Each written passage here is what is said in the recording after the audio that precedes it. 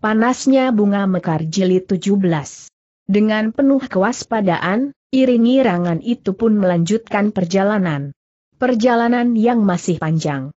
Bahkan mereka masih harus bermalam satu malam lagi di perjalanan, meskipun sudah tidak terlalu jauh dari Kediri. Namun mereka tidak akan memaksa diri untuk mencapai kota itu.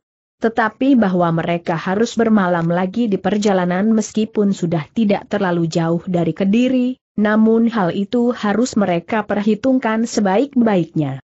Dalam pada itu, ketiga orang pemimpin dari lingkungan hitam itu pun telah berhasil melepaskan diri dari tangan lawan-lawannya yang garang. Namun demikian, terasa pada Ki Gampar Wulung, Ki Benda dan Ki Walikat, bahwa tubuh mereka yang tidak terluka itu bagaikan remuk di dalam. Tulang-tulang mereka bagaikan retak dan ruas-ruasnya bagaikan saling terlepas. Gila geram Ki Walikat apakah orang itu anak iblis? Di luar dugaan berkata Ki benda orang-orang yang kita anggap sebagai sais itu justru orang yang berilmu iblis seperti yang kau katakan itu. Mereka dengan sengaja mengelabui kita berkata gampar wulung aku sama sekali tidak terluka. Tetapi rasa-rasanya aku sudah memeras semua tenaga dan kemampuanku. Jika aku harus bertempur beberapa kejap lagi, mungkin aku tidak akan mampu bertahan sama sekali. Bahkan rasa-rasanya sais kereta yang langsung aku hadapi itu, masih belum sampai ke puncak ilmunya. Beruntunglah bahwa kita masih sempat melarikan diri sahut Ki Benda kita harus cepat menghubungi Ki Macan Wahan. Untuk apa cepat-cepat bertanya Ki Walikat rasa-rasanya malas aku berjalan. Bodoh geram Ki Benda kita masih mempunyai kesempatan untuk membalas dendam malam nanti. Jika dua orang di antara kita sempat menemui Macan Wahan dan minta ia datang bersama Ki Dukut dan sepuluh orang lagi, maka aku kira, kita akan berhasil. Kedua orang kawannya mengerutkan keningnya. Nampaknya mereka sedang berpikir. Tiba-tiba saja Gampar Wulung berkata mungkin kau benar. Tetapi Macan Wahan dan Ki Dukut itulah yang penting. Juga yang sepuluh orang. Lihat, kawan-kawan kita sudah berkurang. Meskipun lawan juga berkurang, tetapi nampaknya setiap orang di dalam pasukan lawan memiliki kelebihan. Karena itulah maka aku kira Macan Wahan dan Ki Dukut perlu membawa sepuluh orang lagi atau lebih.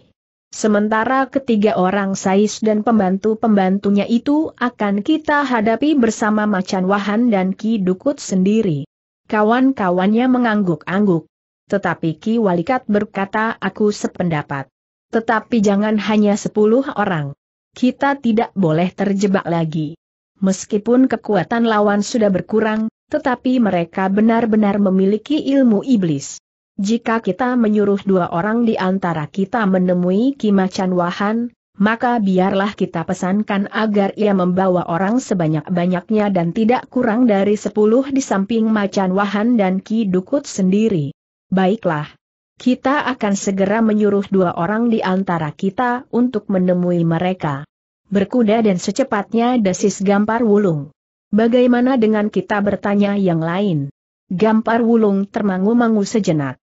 Dipandanginya Ki Benda dan Ki Walikat berganti-ganti. Baru sejenak kemudian ia berkata bukankah sebaiknya kita memperhitungkan kemungkinan, sampai di mana-mana iring-iringan itu akan berhenti lagi nanti malam. Ya, kita akan berada di tempat itu. Tengah malam kita menyerang mereka sekali lagi dengan kekuatan yang lebih besar, sementara kekuatan lawan telah berkurang. Apalagi, di antara kita terdapat Macan Wahan dan Ki Dukut Pakering sendiri, selain sepuluh orang kawan atau lebih akan datang bersama mereka. Demikianlah, maka mereka telah menunjuk dua orang yang harus berkuda secepatnya kembali ke padukuhan Macan Wahan. Keduanya harus melaporkan apa yang terjadi dan mereka pun harus kembali bersama Macan Wahan dan Ki Dukut bersama paling sedikit sepuluh orang kawan lagi. Setelah semua pesan diterima dengan jelas, maka dua orang di antara mereka telah berpacu kembali kepada pokan Macan Wahan. Keduanya pun mendapat pesan, di mana kira-kira pasukan yang gagal itu akan menunggu. Kegagalan ini bagikan membakar jantungku berkata Ki Benda aku benar-benar ingin mencincang orang yang menyebut dirinya pedagang besi betuah dan batu-batu berharga itu. Bukan hanya orang itu geram Ki Walikat semua orang di dalam kelompok itu. Mereka harus mengerti bahwa kita mempunyai kemampuan untuk melakukannya. Jika kita gagal itu semata hanya karena kelengahan kita saja. Gampar Wulung mengangguk-angguk. Katanya jangan cemas, malam nanti kita akan dapat melepaskan dendam kita bersama Ki Dukut dan Mancan Wahan. Pasukan kecil yang membawa perempuan dari Singasari ke Kediri itu tentu tidak akan mampu berbuat apa-apa. Kita akan melakukannya sahut Ki Benda dan sekarang kita masih mempunyai waktu untuk beristirahat. Pedati-pedati itu merayap seperti siput. Sementara kita akan tidur barang sekejap untuk melupakan sakit hati sambil memberikan kesempatan orang-orang kita yang terluka. Untuk sedikit mendapatkan kesegaran baru, sebelum kita bersama-sama melepaskan dendam yang membara di hati. Demikianlah, maka orang-orang dari lingkungan ilmu hitam itu masih sempat beristirahat, yang terluka masih sempat mendapat perawatan dan pengobatan, sementara mereka harus bersiap-siap untuk bertempur lagi malam nanti. Namun dengan beberapa orang kawan yang masih segar dan dua orang yang pilih tanding. Tugasku tidak akan terlalu berat malam nanti berkata salah seorang dari mereka yang terluka di lengan. Mudah-mudahan yang kita harapkan benar-benar akan datang berkata yang lain jika benar, maka jumlah kita akan berlipat dan orang-orang kediri itu sudah semakin surut. Apalagi mereka tentu akan ketakutan melihat Ki Dukut di antara kita. Kita pergunakan waktu ini sebaik-baiknya lewat tengah hari kita akan menyusul mereka, dan menemukan tempat yang kita harapkan dapat menjadi tempat persembunyian yang baik sebelum kita menyerang. Sebaiknya kita berangkat menjelang senja. Kita mempunyai waktu banyak. Berapa jarak yang dapat dicapai oleh pedati-pedati itu berkata yang lain pula. Tetapi mereka tidak dapat mengatur segalanya. Mereka harus tunduk perintah pemimpin mereka. Apa pun yang harus mereka lakukan, harus mereka lakukan. Sementara itu, dua orang kawan mereka telah berpacu sekencang-kencangnya. Mereka berusaha untuk tidak terlambat, karena kesempatan mereka untuk menyerang iring-iringan itu memang tidak terlalu panjang lagi. Semalam mereka harus melakukannya sebelum iring-iringan itu memasuki telatah Kediri. Sementara Kimacan Wahan terkejut mendengar derap kuda menuju rumahnya. Dengan tergesa-gesa ia keluar dari ruang dalamnya. Dua orang yang datang itu dengan tergesa-gesa pula mendapatkannya. Ketika mereka sudah duduk di pendapa, maka Macan Waham pun segera bertanya, apakah yang telah terjadi? Kedua orang itu kemudian bercerita berganti-ganti. Mereka menceritakan kegagalan mereka. Karena itu, maka serangan itu harus diulangi. Macan Wahan menggeretakkan giginya. Ia rasa-rasanya ikut terjebak bersama ketiga orang kawannya itu. Untunglah, mereka bertiga selamat berkata Macan Wahan dengan demikian mereka masih mendapat kesempatan untuk melepaskan dendam mereka kepada orang-orang kediri itu. Ya jawab salah seorang yang datang menghubungi Macan Wahan kita harus berangkat dengan pasukan yang kuat. Paling sedikit sepuluh orang ditambah Ki Macan Wahan dan Ki Dukut sendiri. Tidak hanya sepuluh berkata Macan Wahan. Kita akan pergi dengan lima belas orang atau lebih. Semua orang yang sekarang ada di padepokan, akan aku bawa bersama kita. Bagus geram salah seorang dari kedua penghubung itu.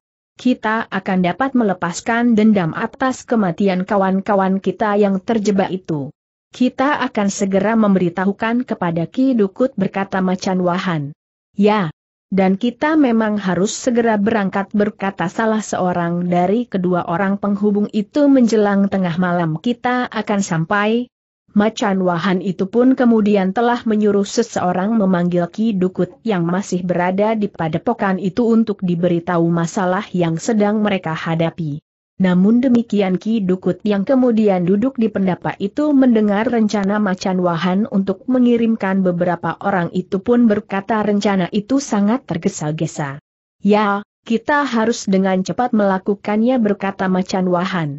Ya, Menurut perhitunganku, ia akan berbuat demikian jawab Ki Dukut. Macan Wahan menjadi tegang. Katanya tetapi hal itu masih belum tentu. Kita dapat mencoba. Mungkin mereka tidak berbuat demikian, sehingga kita mendapat kesempatan yang baik untuk membinasakan seorang pangeran dan merampas segala miliknya yang dibawanya. Bukankah sejalan dengan rencana Ki Dukut untuk mengguncang Kediri, agar mereka terbangun dari mimpi yang manis, sementara angin yang sejuk masih ditiupkan oleh orang-orang Singasari. Ki Dukut tertawa. Katanya kau sudah mulai menyadari, betapa rendahnya martabat Kediri di mata orang Singasari. Karena itu, maka kita harus menjaga diri, agar kita tidak terperosok ke dalam kesalahan demi kesalahan. Percayalah kepadaku, menurut perhitunganku. Pangeran Kudek pada Madata pun akan berbuat seperti yang kita lakukan. Menjemput sepasukan pengawal.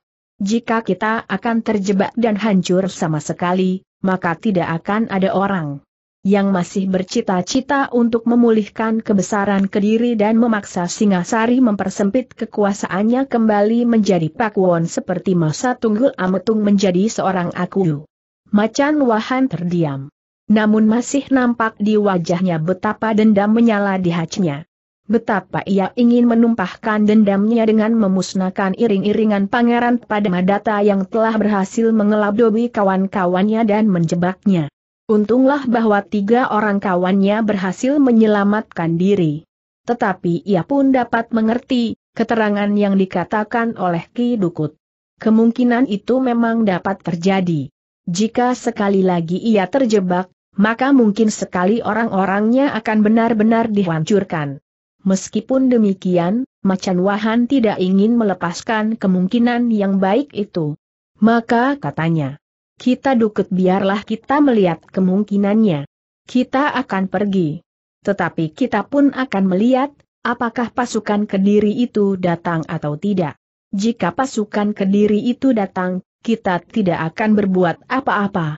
Tetapi jika tidak, maka kita akan memusnahkan iring-iringan itu sampai lumat Ki Dukut tertawa. Katanya baiklah. Mungkin hal ini memang dapat dicoba. Jika demikian, kita harus segera berangkat, semua orang yang ada akan kita bawa. Kita hanya perlu tiga orang untuk menunggui padepokan ini, di samping beberapa orang perempuan berkata macan wahan.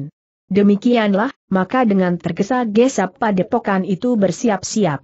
Bagaimanapun juga, masih tersimpan harapan di hati Macan Wahan, bahwa ia akan dapat membalas sakit hati kawan-kawannya yang terjebak.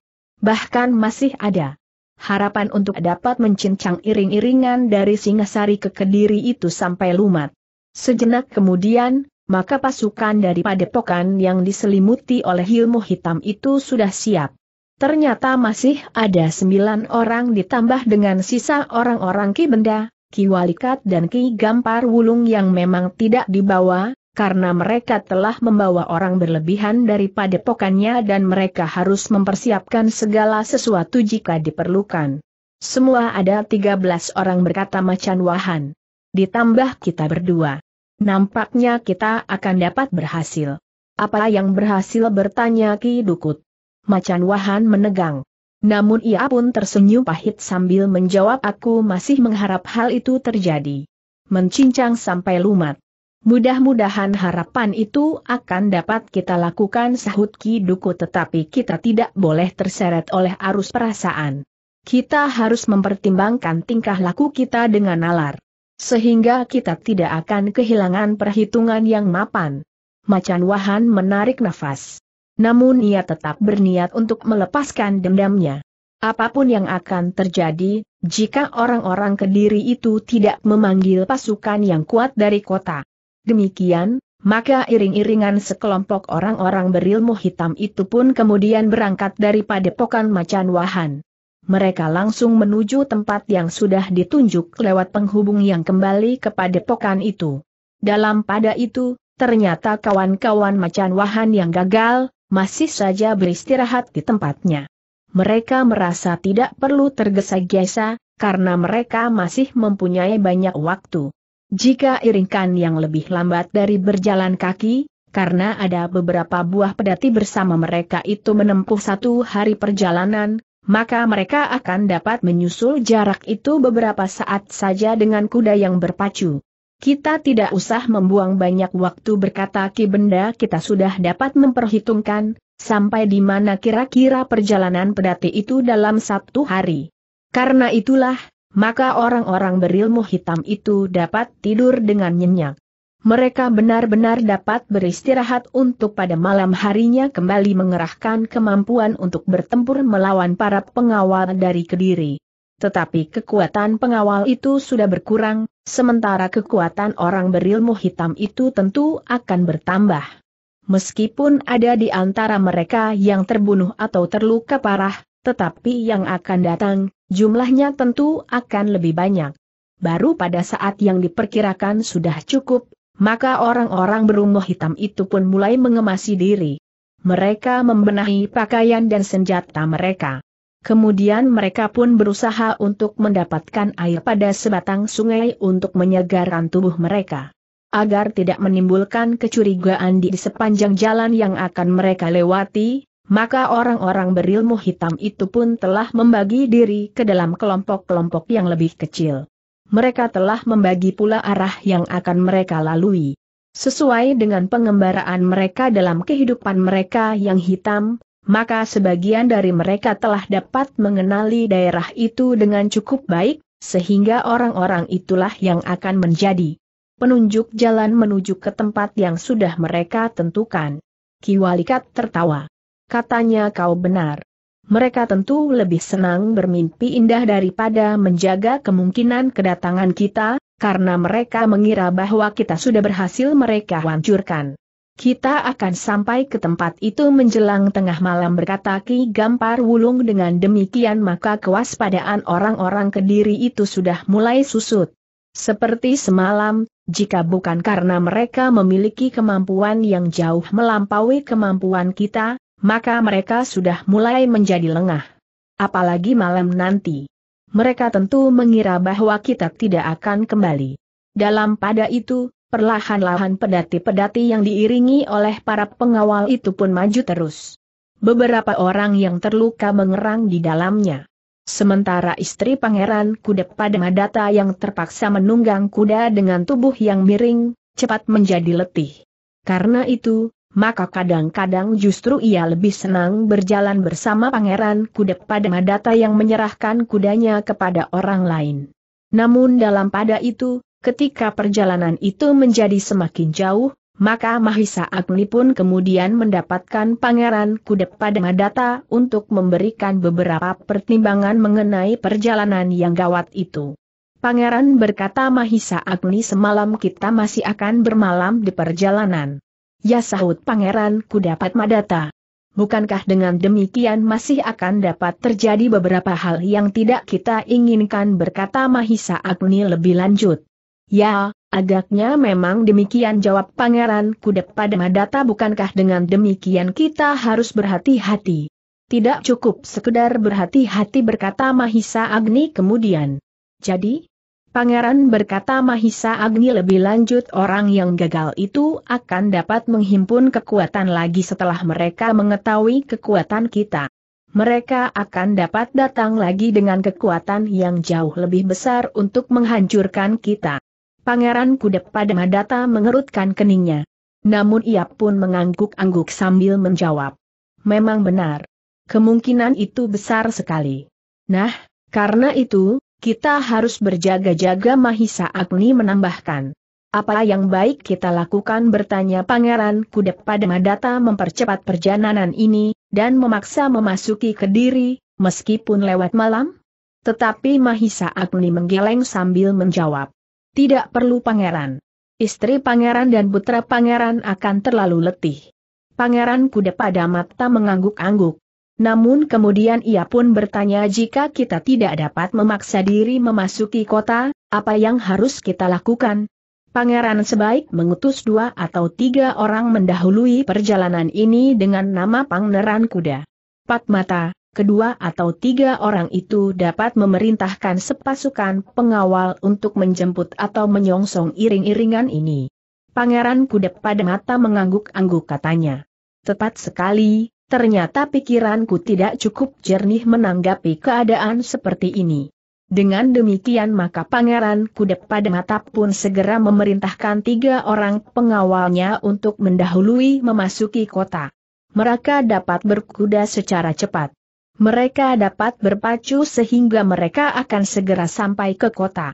Dengan cepat pasukan pengawal akan disiapkan untuk segera menyongsong iring-iringan yang berjalan lambat, justru karena ada beberapa buah pedati di dalamnya.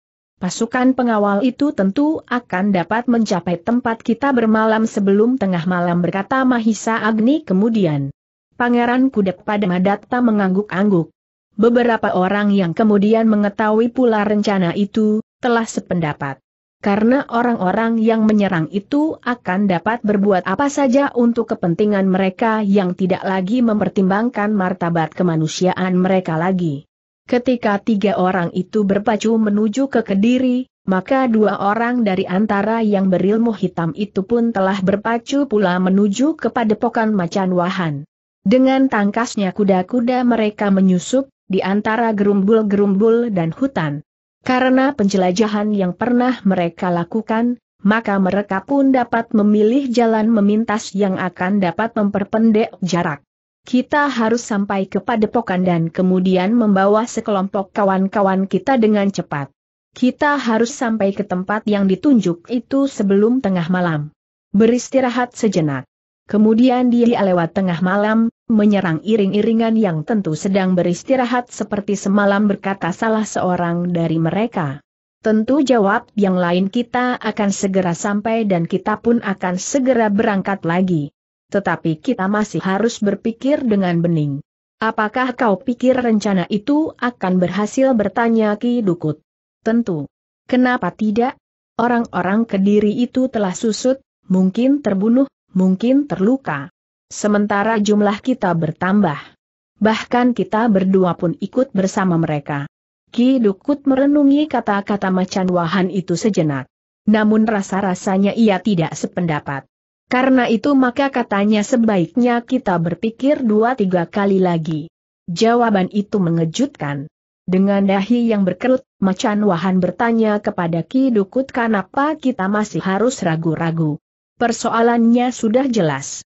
Dan kita tidak dapat menunggu lagi. Tetapi Ki Dukut masih menggeleng sambil berkata, persoalannya masih belum jelas. Yang mana yang belum jelas bertanya Macan Wahan. Kau kira, bahwa Pangeran Kudep pada Madata tidak dapat minta bantuan ke Kediri, seperti kawan-kawan kita minta bantuan kepada kita. Macan Wahan tertegun sejenak. Namun kemudian katanya apakah mereka sempat juga berpikir seperti itu? Tentu. Ia tentu berpikir tangkas seperti kawan-kawan kita. Dua orang di antara mereka pergi ke Kediri untuk menjemput sekelompok pengawal, jika kita masih harus menghitung, berapa orang kawan kita yang dapat melakukan hal itu, maka di Kediri, Pangeran Kudep pada Madata tinggal menyebut, berapa orang pengawal yang diinginkannya. Sepuluh, dua puluh, tiga puluh, bahkan seratus. Meskipun yang seratus itu bukan pengawal pilihan seperti yang sepuluh orang dan para sais yang telah menjebak kawan-kawan kita itu, namun mereka adalah pengawal-pengawal yang terlatih baik jawab Ki Dukut. Macan Wahan menjadi tegang. Katanya memang mungkin. Tetapi, apakah kira-kira Pangeran Kudep pada Madata akan berbuat demikian? Kita akan mencincang setiap orang dari para pengawal itu sahut Ki Benda hatiku masih terlalu pedih melihat kesombongan Mahendra dengan pedangnya yang mampu mengimbangi pusakaku. Jika aku tidak mengingat nasib orang-orang kita yang seolah-olah kehilangan kesempatan sama sekali, maka aku tentu sudah berhasil membunuhnya. Tetapi Ki Gampar Wungkul menyahut bagaimana anggapan kita, tetapi ternyata kita telah gagal. Sebaiknya kita menjadi lebih berhati-hati dan berbuat lebih banyak lagi, agar kita akan dapat berhasil. Ki Benda menarik nafas dalam-dalam. Tetapi ia pun mengangguk-angguk sambil berkata kau benar. Dan aku akan menebus kegagalan itu. Demikianlah maka kelompok-kelompok kecil itu pun segera berangkat menuju ke tempat yang telah mereka sepakati. Mereka telah menebar melalui jalan masing-masing. Justru mereka memilih jalan yang tidak banyak dilalui orang, dan jalan-jalan setapak. Meskipun kadang-kadang kuda mereka tidak dapat berlari kencang, namun perjalanan mereka tidak banyak bertemu dengan orang-orang yang bagaimanapun juga akan memperhatikan mereka. Dalam pada itu, di Kediri, seorang perwira pengawal tengah sibuk menyiapkan sepasukan pengawal yang akan menjemput Pangeran Kudapat Madata. Tiga orang utusan Pangeran Kudep pada Madatta telah menghadap dan menyampaikan apa yang telah terjadi. Pangeran Kudep pada Madatta telah bermain dengan api berkata perwira itu kenapa pangeran hanya membawa sepuluh orang pengawal. Untunglah, di antara mereka terdapat tiga orang Singasari yang bersedia membantu mereka, meskipun mereka hanya sais pedati. Mereka bukan sebenarnya sais sahut seorang utusan. Aku tahu jawab perwira itu. Lalu aku siapkan sekarang sepuluh orang pengawal lagi. Tetapi bersama mereka akan ikut serta tiga orang perwira, sehingga jumlahnya akan menjadi tiga belas orang. Dan aku pun masih mengirimkan pengganti kawan-kawanmu yang terluka sebanyak tiga orang. Dengan demikian, maka kami semuanya akan berjumlah enam belas orang kami akan bersamamu menyongsong pangeran kudapat Madata. Marilah. Kita harus bertemu dengan iring-iringan itu tidak terlalu jauh memasuki malam hari berkata salah seorang utusan itu. Ternyata para pengawal itu pun segera dapat mempersiapkan diri. Dalam waktu yang pendek, maka iring-iringan itu pun telah siap untuk berangkat. Sepuluh orang pengawal pilihan, tiga orang perwira dan tiga orang pengawal lagi untuk menggantikan tiga pengawal yang terluka. Bersama dengan tiga orang utusan, maka mereka akan berjumlah 19 orang. Apakah jumlah ini terlalu kecil bertanya perwira pengawal itu? Aku kira tidak. Dan aku pun tidak pasti, apakah mereka masih akan mengganggu berkata utusan itu. Siapa tahu. Mungkin mereka sempat memanggil kawan-kawannya yang lain. Tetapi pasukan yang aku bawa ini cukup kuat menghadapi jumlah orang berlipat dua berkata perwira itu. Demikianlah, maka sepasukan kecil pengawal dari Kediri itu pun segera berpacu menyongsong Pangeran Kudapat Madata. Mereka tidak ingin terlambat, dan tinggal menemukan sisa-sisa pasukan dan iring-iringan Pangeran Kudapat Madata. Karena itu, maka mereka pun telah berpacu secepat-cepatnya menyusuri jalan yang menghubungkan jarak yang cukup panjang, Kediri dan Singasari. Dalam pada itu, Pangeran Kudep pada Madata masih merayapi jalan yang berdebu. Di siang hari matahari bagaikan membakar kulit. Pada keadaan yang terpaksa, maka istri Pangeran Kudep pada Madata dan anak laki-lakinya telah berada di dalam pedati yang membawa bekal dan barang-barang yang lain. Lebih baik berada di dalam satu pedati meskipun berdesakan dengan barang-barang, daripada berada di dalam satu pedati dengan orang-orang yang terluka. Ketika langit menjadi buram, maka istri dan anak pangeran kudep pada madata itu menjadi berdebar-debar kembali. Rasa-rasanya peristiwa semalam masih akan terulang lagi. Apalagi pengawal yang berada di antara. Mereka tinggal empat orang. Tiga orang terluka, dan tiga yang lain menghubungi pengawal di Kediri. Dalam keadaan yang demikian, maka kemungkinan yang paling pahit akan dapat terjadi. Meskipun demikian, Pangeran Kudep pada Madata sempat juga menenangkan hati mereka. Bahwa orang-orang yang telah mencegat iring-iringan itu benar-benar telah dihancurkan. Seandainya mereka akan melakukannya lagi, mereka tentu memerlukan bantuan. Untuk mendapatkan bantuan itu mereka memerlukan waktu yang tidak kalah panjangnya dengan perjalanan pengawal-pengawal kita ke Kediri. Istri pangeran itu pun mengangguk-angguk. Tentu ia percaya kepada suaminya. Suaminya adalah seorang pangeran yang memiliki ilmu yang cukup dan pengetahuan serta pengalaman yang luas. Meskipun pada suatu saat, perempuan itu pernah berprasangka bahwa suaminya dianggapnya tidak setia. Namun ternyata bahwa dugaan itu salah. Suaminya pun telah terjerar ke dalam satu permainan yang hampir saja menelan nyawanya. Waktu rasa-rasanya berjalan dengan lamban dan mendebarkan. Ketika malam turun, maka iring-iringan itu pun segera mencari tempat yang paling baik untuk berhenti. Seperti malam sebelumnya mereka lebih senang berada di tempat yang terbuka dan dapat memandang ke arah yang jauh, sehingga mereka akan segera dapat melihat, jika ada orang-orang yang dengan maksud buruk mendekati mereka. Kita tidak dapat bersembunyi berkata Pangeran Kudep pada Madata karena itu, buatlah perapian. Biarlah malam menjadi sedikit hangat. Ketika dingin malam mulai menyentuh kulit, maka di tengah-tengah lingkaran peristirahatan itu, terdapat sebuah perapian yang cukup besar, sehingga panasnya dapat menghangatkan keadaan di seputarnya. Bahkan pedati-pedati yang berada beberapa langkah dari perapian itu pun telah dihangatkan pula. Orang-orang yang terluka, yang berada di dalam pedati itu pun merasa, hangatnya perapian yang menyala cukup besar. Para pengawal telah melemparkan beberapa potong kayu, ranting-ranting kering dan batang-batang perlu. Sehingga api itu dapat dipertahankan nyalanya. Sementara itu, langit menjadi cerah. Bulan yang masih cukup bulat mulai menerangi alam yang terbentang dari ujung ke ujung cakrawala. Anak laki-laki Pangeran Kudep pada Madata di saat-saat melupakan kegelisahannya berbicara juga tentang langit, bulan dan bintang-bintang. Bahkan rasa-rasanya tidak jemu-jemunya ia memandang cahaya bulan yang kekuningan jatuh di atas dedaunan dan rerumputan. Tetapi dari cengkerik dan belalang, terasa membuat kulitnya berkerut. Karena para pengawal tinggal empat orang, maka mereka telah membagi tugas mereka dengan Mahisa Bungalan, Mahisa Pukat dan Mahisa Murti. Sementara Ki Wastu pun telah menghitung dirinya sendiri untuk ikut serta berjaga-jaga. Setiap saat, empat orang harus siap mengamati empat arah berkata Ki Wastu.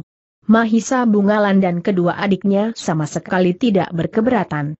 Bahkan kemudian Mahisa Agni, Witantra dan Mahendra pun telah bersedia pula ikut berjaga-jaga.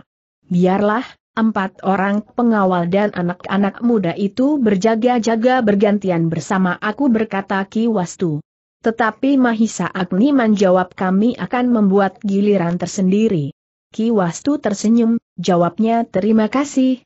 Dengan demikian, kami akan merasa semakin tenang.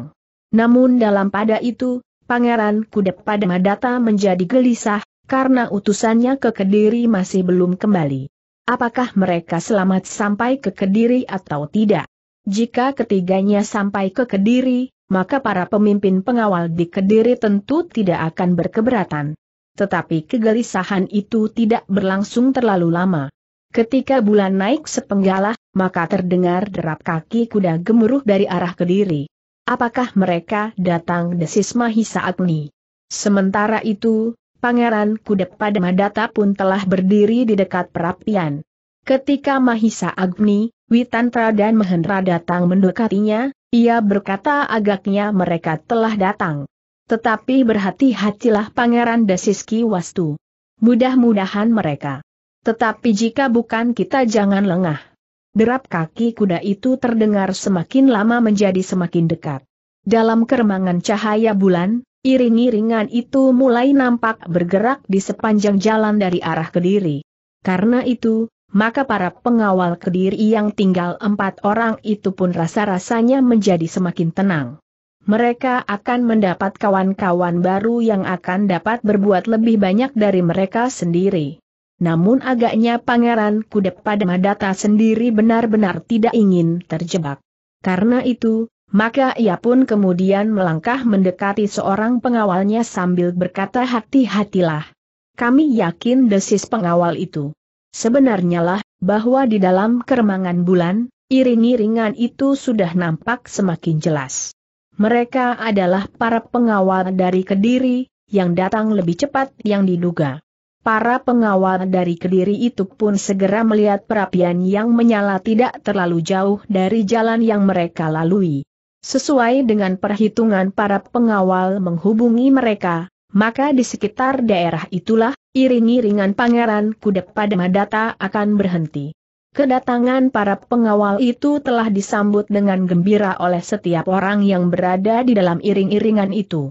Para perwira yang datang bersama para pengawal itu pun segera diperkenalkan dengan orang-orang yang berada di dalam iring-iringan Pangeran Kudapat Madata. Namun seorang dari para perwira itu pun tiba-tiba berdesis aku sudah mengenal Senapati Agung dari Singasari yang pernah berada di Kediri ini. SSTT desis Pangeran Kudapat Madata jangan sebut itu. Ia tidak ingin hal itu diketahui banyak orang. Ada dua orang yang pernah mendapat kedudukan seperti itu di sini. Mahisa Agni dan Witantra. Ya berkata perwira itu tetapi bagaimana aku harus bersikap? Bersikaplah biasa saja seperti kalian bersikap dengan orang-orang lain yang pantas mendapat kehormatan sewajarnya, tidak berlebih-lebihan. Perwira itu mengangguk-angguk. Namun rasa-rasanya segan juga ia menghadapi Mahisa Agni dan Witantra. Dalam pada itu, maka para pengawal yang baru datang itu pun dipersilahkan beristirahat barang sejenak. Para pengawal yang terdahulu ternyata sudah mempersiapkan air hangat dengan gula kelapa yang dapat membuat para pengawal yang baru datang itu menjadi segar. Beristirahatlah berkata Pangeran Kudapat Madata. Mudah-mudahan tidak terjadi sesuatu. Sehingga kalian tidak perlu bersusah payah mempermainkan senjata kalian. Tetapi jika hal itu harus terjadi, maka kalian sudah mendapat kesempatan beristirahat barang sejenak. Para pengawal itu pun kemudian berpencar setelah minum beberapa teguk. Mereka benar-benar ingin beristirahat. Bagaimanapun juga perjalanan mereka, memang perjalanan yang melelahkan karena mereka harus berpacu secepat-cepatnya agar mereka tidak terlambat. Ternyata yang mereka temukan, iring-iringan yang masih utuh. Beberapa orang di antara pengawal itu pun telah berbaring di atas rerumputan di sebelah pedati yang berhenti dalam lingkaran. Orang-orang yang terluka, masih berada di dalamnya. Namun ada juga di antara mereka yang merasa dirinya masih mampu, merasa lebih senang turun dari pedati dan berbaring di atas rerumputan pula. Udara malam yang sejuk telah membuat tubuh mereka serasa bertambah segar. Namun bagaimanapun juga, Orang-orang yang berilmu hitam itu masih juga perlu mendapat pengawasan, meskipun mereka terluka. Dalam pada itu, Ki Benda, Ki Walikat dan Ki Gampar Wungkul semakin lama menjadi semakin dekat pula. Mereka benar-benar merasa tidak perlu tergesa-gesa. Mereka menganggap perlu untuk menghemat tenaga mereka, karena mereka masih akan mempergunakannya lewat tengah malam. Ternyata perhitungan mereka tidak terlalu jauh meleset. Setelah berusaha menemukan tempat bagi mereka sesuai dengan pembicaraan di antara mereka, maka orang-orang berilmu hitam itu pun mulai mengatur diri. Mereka menugaskan dua orang di antara mereka untuk meyakinkan tempat peristirahatan iring-iringan Pangeran Kudapat Madata. Usaha itu tidak terlalu sulit. Perapian yang menyala di antara para pengawal itu segera menarik perhatian kedua orang itu. Karena itu, maka dengan hati-hati mereka pun merayap mendekat sedapat mereka capai, karena mereka pun sadar, bahwa di antara orang-orang yang berada di dalam iring-iringan itu adalah orang-orang berilmu tinggi. Nampaknya sepi-sepi saja desis yang seorang. Aku tinggal di sini. Berikan laporan, bahwa kami telah menemukan tempat itu, tidak terlalu jauh dari tempat yang kita perkirakan. Aku akan mengawasi jika ada perubahan terjadi pada mereka sahut yang seorang. Yang lain pun segera memberikan laporan, sementara kawannya tetap mengawasinya. Namun karena ternyata kedatangan para pengawal dari Kediri lebih dahulu dari mereka, maka orang berilmu hitam itu tidak sempat melihat, sebuah iring-iringan telah berada di dalam lingkungan iring-iringan dari Singasari itu pula. Sementara itu, Macan Wahan dan Ki Dukut Pakering pun telah sampai ke tempat yang disebut-sebut oleh para penghubung. Mereka pun tidak terlalu sulit untuk menemukan kawan-kawan mereka, karena satu dua orang di antara mereka telah mengenal daerah itu. Kita cukup kuat desis Macan Wahan kemudian setelah ia mendengar laporan Ki Walikat. Sekali lagi aku peringatkan, Apakah orang-orang Kediri itu tidak mendapat bantuan dari kawan-kawan mereka berkata Ki Dukut. Macan Wahan menarik nafas dalam-dalam. Dengan nada berat ia berkata ternyata Ki Dukut Pakering adalah orang yang sangat berhati-hati. Hi, apakah kalian yang berada di sini dapat mengatakan, apakah orang-orang Kediri itu telah memanggil kawan-kawannya Ki Benda, Ki Walikat dan Ki Gampat Wungkul termangu-mangu sejenak. Namun kemudian Ki Walikat bertanya kepada orang yang telah melihat keadaan tempat peristirahatan Pangeran Kudep pada Madata itu sepengetahuanku, keadaan di tempat itu terasa sangat sepi. Aku hanya melihat api yang menyala di antara tiga buah pedati yang melingkarinya. Agaknya Pangeran Kudep pada Madata menjadi ketakutan berkata Ki Benda untuk membesarkan hatinya ia telah membuat perapian sebesar-besarnya. Ki Gampar Wungkul mengangguk-angguk. Katanya, aku sependapat. Tetapi sebaiknya, biarlah kita melihat. Sekali lagi, Mungkin sepeninggal pengamat itu, pengawal dari Kediri telah berdatangan. Aku sependapat desis Macan Wahan perintahkan kepada dua orang untuk melihat kembali di tempat itu. Aku akan berangkat berkata Ki Dukut aku ingin melihat apakah kita akan mampu berbuat sesuatu. Macan Wahan mengerutkan keningnya. Ia melihat kesungguhan pada Ki Dukut menghadapi orang-orang Kediri. Karena itu maka katanya aku akan pergi bersama Ki Dukut. Aku pun ingin melihat apakah kekuatan kita cukup memadai. Ternyata bahwa Ki Dukut benar-benar telah pergi untuk meyakini segala keterangan yang didengarnya tentang orang-orang Kediri itu. Dengan diantar oleh pengawas yang semula telah datang bersama seorang kawannya, maka mereka pun menemui pengawas yang seorang lagi, yang ditinggalkannya untuk selalu mengamati keadaan. Apakah kau melihat satu perubahan bertanya pengawas yang melapor kepada para pemimpin orang-orang berilmu hitam itu? Tidak jawab kawannya. Apakah tidak ada orang-orang kediri yang datang bertanya macan wahan? Tidak jawab pengawas itu. Nah, bukankah sudah pasti berkata macan wahan? Apalagi yang kita ragukan? Tetapi nampaknya Ki Dukut masih belum puas. Katanya, aku akan berusaha merayap lebih dekat. Berbahaya sekali desis pengawas yang telah berada di tempat itu. Ki Dukut pun menyadari, bahwa terlalu sulit untuk dapat merapat lebih dekat lagi. Namun ia tidak akan dapat mengambil satu sikap tanpa mengetahui keadaan yang agak lebih mantap tentang sasarannya. Karena itu, maka ia pun berusaha untuk bergeser sambil menelengkup di balik batang rerumputan liar. Namun karena Ki Dukut juga seorang yang memiliki ilmu yang tinggi, maka ia pun cukup cermat memperhitungkan keadaan. Meskipun Ki Dukut tidak dapat mendekat, tetapi dari jarak yang lebih dekat dari tempat para pengawas, maka ia dapat melihat kuda yang cukup banyak. Karena itu, ia berkesimpulan, meskipun hanya sedikit, tetapi Kediri telah mengirimkan bantuan kepada Pangeran Kudapat Madata. Kuda itu tidak hanya sepuluh atau dua belas. Tetapi lebih banyak dari itu berkata Ki Dukut di dalam hatinya. Karena itu, ketika ia kembali kepada Macan Wahan, ia berkata Macan Wahan, jika kau sempat memperhatikan jumlah kuda mereka, maka kau tentu akan mengambil kesimpulan yang sama dengan aku. Kediri telah mengirimkan pengawal-pengawalnya kepada Pangeran Kudapat Madata. Tetapi berapa banyak? Seratus? Lima puluh bertanya Macan Wahan. Tentu tidak sebanyak itu. Tetapi cobalah. Jika kau cukup berhati-hati, kau akan dapat mencapai jarak seperti yang dapat aku lakukan. Tahankan ilmumu sedikit sehingga kau tidak bertindak dengan kasar dan tergesa-gesa berkata Ki Dukut. Macan Waham pun melakukannya. Ia pun merayap seperti yang dilakukan Kleh Ki Dukut, dengan lindungan batang rumput liar yang cukup tinggi, maka ia dapat mendekat, meskipun tidak terlalu dekat. Dan seperti Ki Dukut, maka Macan Waham pun dapat melihat kuda-kuda yang tertambat. Memang lebih banyak dari 10 atau 12 ekor kuda. Macan Waham pun agaknya mengakui, tentu ada sekelompok pengawal baru yang datang. Tetapi menilik pengamatannya, jumlahnya tentu tidak terlalu banyak kuda-kuda itu pun tidak terlalu banyak.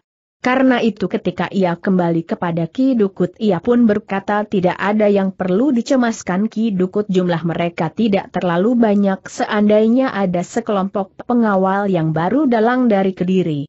Kedatangan pengawal itu tentu bukan karena peristiwa yang baru terjadi. Mungkin dalam rangka upacara atau dalam rangka apa pun juga. Jika Kediri sengaja mengirimkan bantuan karena peristiwa yang baru terjadi semalam, maka yang datang tentu segelar sepapan. Agaknya pengawal-pengawal itu datang secara kebetulan dalam persoalan yang tidak ada hubungannya dengan peristiwa semalam, meskipun secara kebetulan pula mereka akan dapat membantu. Tetapi kekuatan mereka tidak akan berarti apa-apa bagi kami. Jangan mengabaikan peristiwa yang sedang kita hadapi ini Macan Wahan berkata Ki Dukut lebih baik kita berhati-hati agar kita tidak terperosok ke dalam kegagalan lagi. Ki Dukut masih selalu dibayangi oleh seribu kegagalan yang pernah dialami. Karena itu, ia menjadi semakin berhati-hati untuk bertindak lebih jauh lagi dalam persoalan dengan orang-orang kediri itu. Tetapi agaknya sikap Macan Wahan agak berbeda. Ia tidak lagi berpikir tentang rencananya seperti yang dikatakan oleh Ki Dukut, ia tidak lagi berpijak kepada keinginannya untuk membantu Ki Dukut mengguncang Kediri agar Kediri terbangun dari tidurnya yang terlalu nyenyak dibuai oleh sejuknya kipas orang-orang Singasari. Meskipun makna yang paling dalam tentang hal itu pun tidak banyak dimengertinya. Namun yang ada kemudian di dalam kepalanya adalah nyala api dengan semata-mata. Seakan-akan orang berilmu hitam menurut penilaian orang lain itu tidak mampu berbuat apa-apa menghadapi para pengawal di Kediri. Selebihnya, di pedati itu tentu terdapat barang-barang yang cukup berharga. Karena JTU, maka katanya Ki Dukut. Jangan mengecilkan tekad kami yang sudah menyala sampai ke ubun-ubun. Biarlah kami menentukan sikap menghadapi orang-orang Kediri yang sombong itu kami tentu akan dapat menghancurkannya. Aku bukan anak-anak lagi yang hanya mampu berteriak tanpa arti. Tetapi tangan dan kakiku telah pernah aku parami dengan darah orang yang paling ditakuti oleh beberapa pihak. Kau terburu nafsu desiski dukut menurut pendapatku, niat ini harus ditunda. Kita mencari kesempatan lain. Mungkin kita justru akan datang ke istananya pada suatu saat, karena orang-orang yang memiliki kemampuan tinggi, yang telah menjebak kalian dengan berpura-pura menjadi sais itu pun tidak akan terlalu lama berada di Kediri. Aku sudah cukup bersabar. Aku akan berbicara dengan kawan-kawanku itu desis Ki Macan Wahan. Ki Dukut tidak dapat mencegah. Tetapi di hadapan Ki Benda, Walikat dan Gampar Wungkul ia ingin mencoba memberikan penjelasan tentang orang-orang Kediri itu. Namun agaknya api dendam yang sudah menyala di hati orang-orang berilmu hitam itu sulit untuk disurutkan barang sedikit. Mereka menganggap bahwa mereka terlalu kuat untuk melakukan pembalasan. Apalagi menurut kesaksian Macan Wahan, jumlah orang-orang kediri itu tidak cukup banyak menghadapi mereka. Jumlah kita berlipat. Betapapun tinggi ilmu para pengawal kebanyakan itu, orang-orang kita akan dapat menghancurkannya. Sementara kita akan menghadapi orang-orang yang menyebut dirinya Sais Pedati, sementara Ki Dukut akan berurusan dengan pangeran itu dan istri serta anaknya laki-laki berkata Macan Wahan. Ki Dukut hanya dapat menarik nafas dalam-dalam. Namun ia benar-benar tidak berdaya lagi untuk mencegah orang-orang itu melepaskan dendamnya kepada orang-orang kediri dengan tanpa perhitungan dan pertimbangan sebaik-baiknya. Karena itu, maka ia pun hanya dapat menyerahkan segala sesuatunya kepada Macan Wahan yang juga telah terbakar hatinya mendengar cerita penghubung yang telah datang menjemputnya. Ternyata Ki Benda, Ki Walikat dan Gampar Wungkul telah berbulat tekad. Mereka akan menyerang orang-orang kediri itu dengan segenap kekuatan yang ada dengan taruhan yang paling mahal yang akan dapat mereka berikan. Jika mereka gagal, maka mereka tidak akan dapat melepaskan diri dari maut, tetapi jika mereka berhasil maka di samping dendam yang dapat mereka lepaskan, juga isi pedati itu akan sangat menarik perhatian. Kita akan mengepung mereka berkata Ki Benda kita akan menyerang dari arah yang berbeda. Seperti yang pernah kita lakukan sahut Ki Walikat. Mereka akan kebingungan sambung Ki Gampar Wungkul. Dan yang pernah kalian lakukan itu ternyata gagal potong Ki Dukut. Jumlah kami tidak memadai sahut macan wahan. sekarang orang-orang yang menyebut dirinya Sais itu tidak akan dapat berbuat banyak. Mereka akan kita hadapi, dan mereka akan mati di ujung senjata kami. Aku masih tetap ingin mencincang orang yang bernama Mahendra berkata Ki Benda jika saat itu perhatianku tidak terpecah melihat kekalahan pasukanku, maka aku tidak akan melepaskan orang yang bernama Mahendra, yang mengaku sebagai pedagang besi bertuah dan batu-batu berharga itu. Siapa pun lawanmu, namun sasaran utama adalah Pangeran Kudapat Madata, istri dan anak laki-lakinya berkata Macan Wahan dendam dan ketamakan desah Ki Dukut. Ki Dukut berkata Macan Wahan yang mendorong kami untuk melakukan hal ini adalah Ki Dukut sendiri. Karena itu, sekarang Ki Dukut jangan menghalangi kami.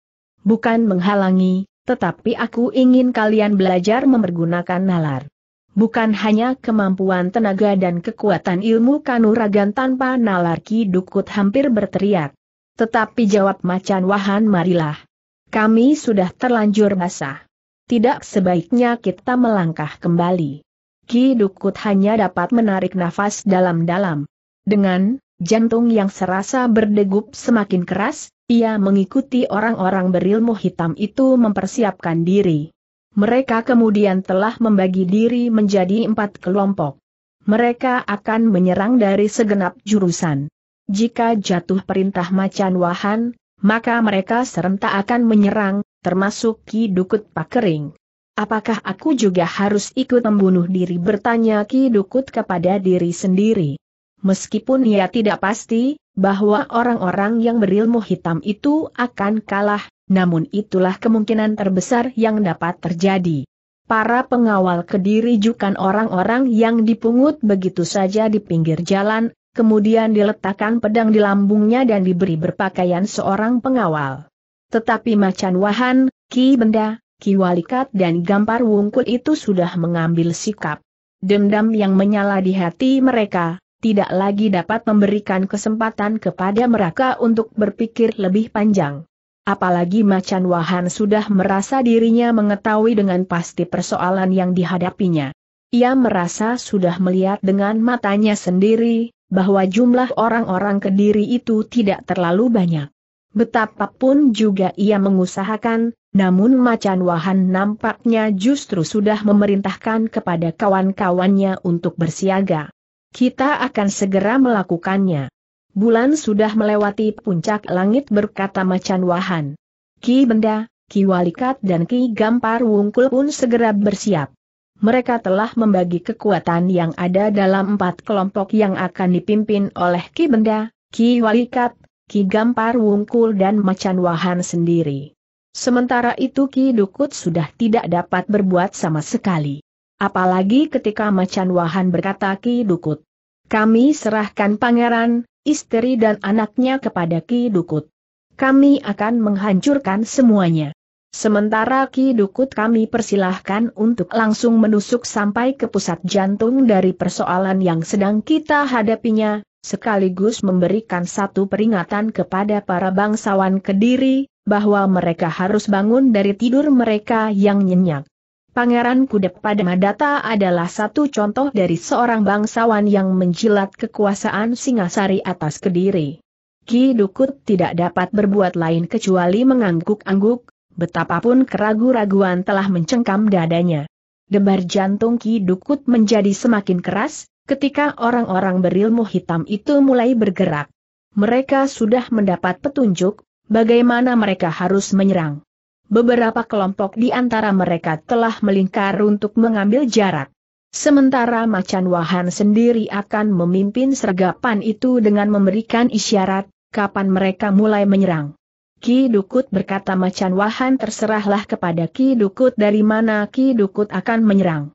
Apakah Ki Dukut akan berada di dalam kelompokku, atau berada di kelompok yang lain? Ki Dukut merenung sejenak. Kemudian katanya aku akan berada di dalam kelompok Ki Benda. Bagus sahut Ki Benda kita akan menyerang mereka dari arah bintang gubuk penceng. Demikianlah, maka empat kelompok orang-orang berilmu hitam itu telah mendekati tempat peristirahatan Pangeran Kuda pada Madata dengan para pengawalnya. Mereka telah memperhitungkan waktu yang paling tepat. Beberapa saat, kelompok-kelompok itu telah berada di tempatnya sambil menunggu isyarat dari Macan Wahan. Dalam pada itu, Ki Dukut memang berada di antara kelompok yang dipimpin oleh Ki Benda. Tetapi nampaknya ia selalu digelisahkan oleh keragu-raguannya. Menurut perhitungannya, sulit bagi orang-orang berilmu hitam itu untuk dapat mengatasi kemampuan para pengawal meskipun mungkin jumlah mereka lebih banyak. Sementara itu bulan telah mulai turun. Malam menjadi semakin dingin. Sementara perapian di antara para pengawal dari Kediri itu masih tetap menyala. Mereka yang menunggui perapian itu selalu melontarkan kekayuan dan ranting-ranting kering yang mereka dapatkan di sekitar tempat itu ke dalam api.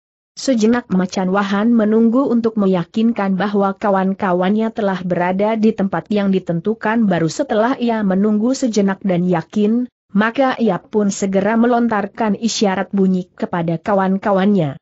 Tidak usah dengan bunyi tersamar pukul saja kentongan kecil atau berteriak sajalah berkata Macan Wahan kepada pengikutnya yang terdekat. Ternyata orang-orang berilmu hitam itu memang sudah menyiapkan sebuah kentongan kecil.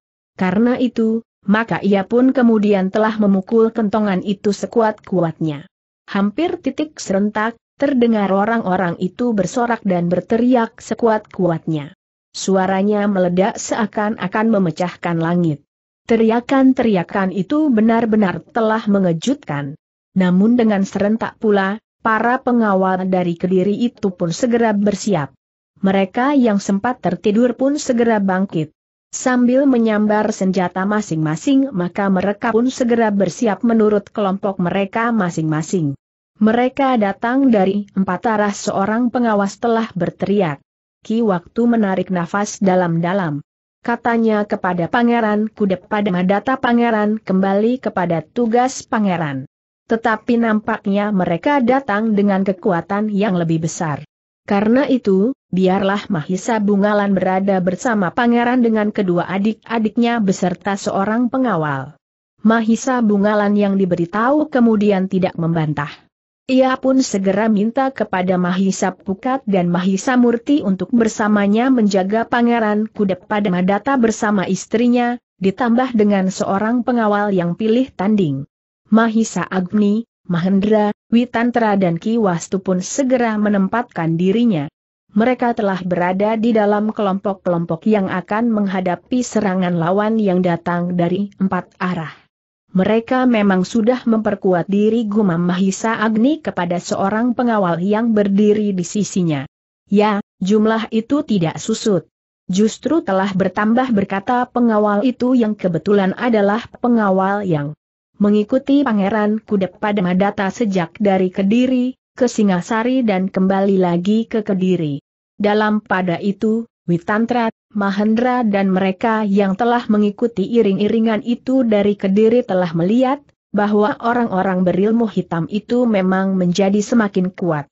Karena itu, maka mereka pun telah memperingatkan para pengawal, agar mereka menjadi semakin berhati-hati. Kita tidak boleh kehilangan mereka lagi berkata Witantra kepada para pengawal yang bersamanya. Demikian kita kehilangan mereka, maka mereka datang lagi dengan kekuatan yang lebih besar. Para pengawalnya mengangguk-angguk. Yang tidak melihat orang-orang berilmu hitam itu pada serangan pertama, mencoba membayangkan apa yang teriak terjadi. Sementara mereka yang mengetahui serangan sebelumnya, memang dapat melihat bahwa jumlah lawan nampaknya semakin kuat. Karena itulah, maka mereka pun menjadi semakin berhati-hati. Namun dalam pada itu, Ternyata Pangeran Kudep pada Madata yang berada di pusat lingkaran itu pun mempunyai perhitungan seperti Witantra. Karena itu, maka ia pun segera meneriakkan perintah kepada para pengawalnya jangan sampai mereka terlepas. Yang menyerah kalian tangkap, yang melawan terpaksa kalian selesaikan. Perintah itu telah memberikan kemantapan kepada para pengawal. Mereka mengerti sepenuhnya, apa yang harus mereka lakukan menghadapi orang-orang berilmu hitam itu. Sejenak kemudian maka para pengawal kediri itu pun maju menyongsong orang-orang berilmu hitam itu. Pada benturan pertama, ternyata kedua pasukan itu merasakan bahwa mereka tidak dapat mengabaikan kekuatan lawan. Pertempuran yang sengit pun segera terjadi. Ki Benda yang kebetulan harus bertemu dengan Witantra berteriak. Hi, di mana pedagang besi karatan yang mengaku bernama Mahendra itu Hi? Yang terkenal di Kediri sebagai pedagang barang berharga, tetapi sama sekali tidak berharga itu? Witantra menarik nafas dalam-dalam. Katanya kenapa kau mencari Mahendra? Kau di sini bertemu dengan aku. Aku tidak peduli. Panggil Mahendra bentak Ki Benda. Tetapi Witantra tidak menghiraukannya. Ia pun bertempur semakin cepat, agar lawannya tidak terpancang kepada orang lain, meskipun dengan demikian ia akan lengah. Namun Witantra tidak ingin berbuat licik. Karena Witantra bertempur semakin cepat itulah, maka Ki Benda terpaksa memperhatikan lawannya. Ternyata ia pun kemudian mulai meyakini bahwa lawannya yang ini pun memiliki kemampuan yang tinggi. Kisanak berkata Witantra mungkin Mahendra terlalu baik hati sehingga ia telah melepaskan para benturan yang pertama jika kau sudah ikut pula. Tetapi sekarang aku akan berbuat lain. Aku tidak akan melepaskanmu, karena perintah yang aku terima adalah menangkap kalian semuanya, karena kalian telah berbuat kesalahan sampai dua kali. Persetan geram ki benda aku akan membunuhmu, kemudian aku akan mencincang pedagang besi tua itu sampai lumat dengan kerisku ini. Witantra sama sekali tidak menjawab, karena ia mengerti bahwa jawabannya itu tidak akan ada gunanya sama sekali. Namun dalam pada itu ia pun segera meningkatkan ilmunya sehingga Ki Benda mulai terdesak karenanya. Anak iblis berkata Ki Benda di dalam hatinya aku kehilangan Mahendra, justru mendapat lawan yang semakin gila. Sebenarnya lah bahwa Witantra memang ingin untuk tidak melepaskan lawannya seperti yang dimaksud oleh Pangeran Kudapat Madata. Karena jika mereka terlepas, ada kemungkinan bahwa mereka akan datang lagi dengan kekuatan yang lebih besar. Demikianlah pertempuran itu pun semakin lama menjadi semakin seru. Macan Wahan tiba-tiba saja telah berhadapan dengan Mahisa Agni, dan Ki Gampar Wungkulah yang berada di Arna melawan Mahendra. Sementara Ki Walikat bertempur mempertaruhkan nyawanya melawan Ki Wastu.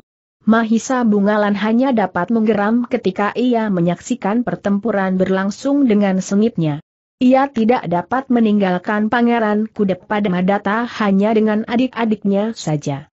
Setiap saat Orang yang tidak terduga kemampuannya dapat saja menyusup untuk sengaja membunuh istri Pangeran Kudep pada Madata dan anak laki-lakinya itu. Namun dalam pada itu, ternyata tidak ada seorang pun yang menyusup pertahanan para pengawal. Pertempuran masih tetap berlangsung dalam lingkaran yang menjadi bulat, karena mereka yang datang dan mereka yang bertahan telah menebar. Sementara itu, Macan Wahan bertempur dengan garangnya. Ia mencoba untuk memaksa lawannya terdesak pada benturan-benturan pertama. Namun ketika pertempuran itu berlangsung beberapa saat, maka mulailah Macan Wahan merasa, bahwa yang dihadapi itu tentu salah seorang dari sais yang pernah ditatokan oleh ketiga orang kawannya yang terdahulu. Karena itu, maka ia pun menjadi semakin berhati-hati. Ia meningkatkan kemampuannya selapis demi selapis namun ternyata bahwa ia tidak mempunyai kesempatan untuk mendesaknya. Meskipun dia sudah sampai kepada tataran tertinggi dari ilmunya, namun lawannya masih tetap bertahan. Gila geram macan wahan namun jika setitik darahnya sempat membasahi senjataku dan kuku ibu jariku, maka akan berarti sekali bagi peningkatan tuah senjata dan kemampuanku. Karena itu, maka Macan Waham pun mulai berusaha untuk dapat melukai Mahisa Agni dan kemudian menggoreskan darah orang itu pada jari-jarinya, sesuai dengan kepercayaan hitamnya. Sementara itu Gampar Wungkul pun telah bertemu dengan Ki Wastu yang menyongsongnya. Ternyata bahwa keduanya segera terlibat ke dalam satu pertempuran yang seru. Masing-masing langsung mengerahkan kemampuan mereka, karena masing-masing ingin segera menyelesaikan pertempuran itu. Tetapi ternyata bahwa keduanya harus mengakui, bahwa mereka telah membentur kekuatan yang seimbang. Dalam hiruk pikuknya pertempuran itu ternyata Ki Dukut masih lagi ikut bersama-sama orang hitam itu menyerang. Keragu-raguannya benar-benar telah mencengkam jantung. Bahkan menurut perhitungannya, orang-orang dari lingkungan hitam itu tidak akan dapat memenangkan pertempuran. Sejenak Ki Dukut itu memandangi pertempuran yang menjadi semakin dahsyat.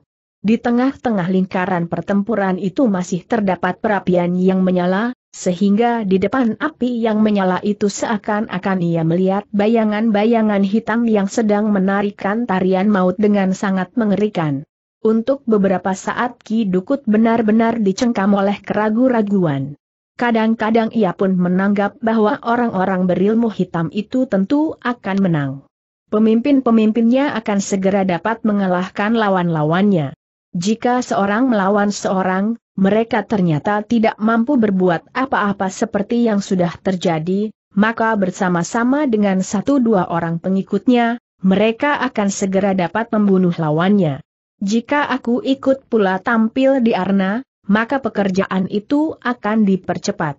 Apa artinya pengawal-pengawal yang lain, jika salah seorang di antara kami sudah berhasil melepaskan diri dari lawan yang memiliki kemampuan seimbang berkata Ki Dukut di dalam hatinya. Namun demikian ia tidak bergerak. Ia tidak berlari menyusul orang berilmu hitam itu dan langsung menusuk sampai ke pusat lingkaran pertempuran. Sebenarnya lah bahwa perhitungan Ki Dukut itu memang memiliki kebenaran. Ketika benturan itu berlangsung semakin lama, maka semakin jelas, bahwa para pengawal dari Kediri yang jumlahnya lebih sedikit itu telah berhasil mendesak lawannya. Para perwira dari para pengawal ternyata dengan cepat telah menyapu lawan-lawannya. Meskipun mereka bukannya pembunuh-pembunuh yang tidak berjantung, namun di dalam hiruk pikuknya pertempuran, akan segera terjadi benturan kekerasan yang mungkin akan memaksa seseorang untuk menjadi pembunuh. Ki Dukut yang mencoba mendekati pertempuran itu pun kemudian melihat, sebenarnya lah bahwa orang-orang berilmu hitam itu tidak cukup kuat untuk melawan orang-orang kediri. Bahkan kemudian ia pun mendapatkan satu kesimpulan, seandainya ia sendiri ikut pula di dalam pertempuran itu, maka akibatnya tidak akan jauh berbeda, karena orang Kediri itu pun memiliki pemimpin-pemimpin yang dapat dibanggakan. Karena itu, maka Ki Dukut pun akhir memutuskan, bahwa ia lebih baik menghindar saja dari pertempuran itulah masih merasa segan untuk menyerahkan lehernya kepada orang-orang Kediri. Khususnya kepada Pangeran Kudapat Madatta, bekas muridnya yang pernah menjadi sasaran ketamakan dan nafsunya. Dengan demikian, maka yang dilakukannya kemudian malah justru sekedar melihat pertempuran itu. Kadang-kadang ia berhasil melihat satu dua orang berilmu hitam jatuh terbanting di tanah. Nampaknya hanya orang-orang berilmu hitam sajalah yang terluka dan terbunuh. Seolah-olah orang-orang kediri itu sama sekali tidak berkurang satupun meskipun ada di antara mereka yang telah tergores senjata. Dalam pada itu, pertempuran itu pun semakin lama menjadi semakin seru. Tidak seorang pun dari antara orang-orang berilmu hitam itu yang sempat bertanya meski kepada diri sendiri, apakah Ki Dukut telah melibatkan diri ke dalam pertempuran itu. Sementara itu, para pengawal dari Kediri termasuk Mahisa Agni, Witantra, Mahendra dan Ki Wastu, telah mendapat perintah untuk melakukan segala usaha, agar orang-orang berilmu hitam itu tidak sempat melarikan diri seperti yang pernah terjadi. Jika terjadi demikian, maka mereka akan menjadi semakin berbahaya, karena mereka mendapat pengalaman yang lebih banyak dalam menghadapi orang-orang kediri. Mereka akan datang dalam jumlah yang berlipat ganda untuk menjamin bahwa mereka tidak akan mengalami kegagalan lagi. Dengan demikian, maka para pengawal yang sedang bertempur itu pun telah mengambil langkah-langkah agar mereka dapat menguasai seluruh medan, sehingga bukan saja melumpuhkan perlawanan lawan, namun juga agar lawan mereka tidak sempat melarikan diri. Beberapa orang pengawal justru telah menyusup di antara lawan mereka dan berusaha mencapai lingkaran di luar lingkar pertempuran itu. Dengan demikian, maka orang-orang berilmu hitam itu telah bertempur menghadap dua arah. Di dalam lingkaran dan di luar lingkaran. Kebingungan mulai membayang di wajah orang-orang berilmu hitam. Meskipun jumlah mereka lebih banyak, Namun mereka sama sekali tidak mampu berbuat banyak menghadapi para pengawal. Apalagi para pengawal itu telah mengambil langkah-langkah untuk berusaha menahan mereka melepaskan diri dari Arna. Sementara itu, Ki Benda, Ki Walikat, Ki Gampar Wungkul dan Macan Waham pun segera merasa betapa beratnya tekanan para pengawal. Gila berkata Macan Wahan di dalam hatinya. Ternyata perhitungan Ki Dukut mendekati kebenaran. Kita tidak akan dapat mengalahkan para pengawal dari Kediri itu, meskipun jumlah kita jauh lebih besar. Sementara itu setiap orang di lingkungan ilmu hitam itu menduga, bahwa Ki Dukut telah terlibat pertempuran melawan bekas muridnya. Tidak seorang pun yang mengetahui, bahwa sebenarnya Ki Dukut masih saja berada di tempatnya sambil mengamati pertempuran. Ia telah mengambil keputusan untuk tidak menampakkan dirinya sama sekali.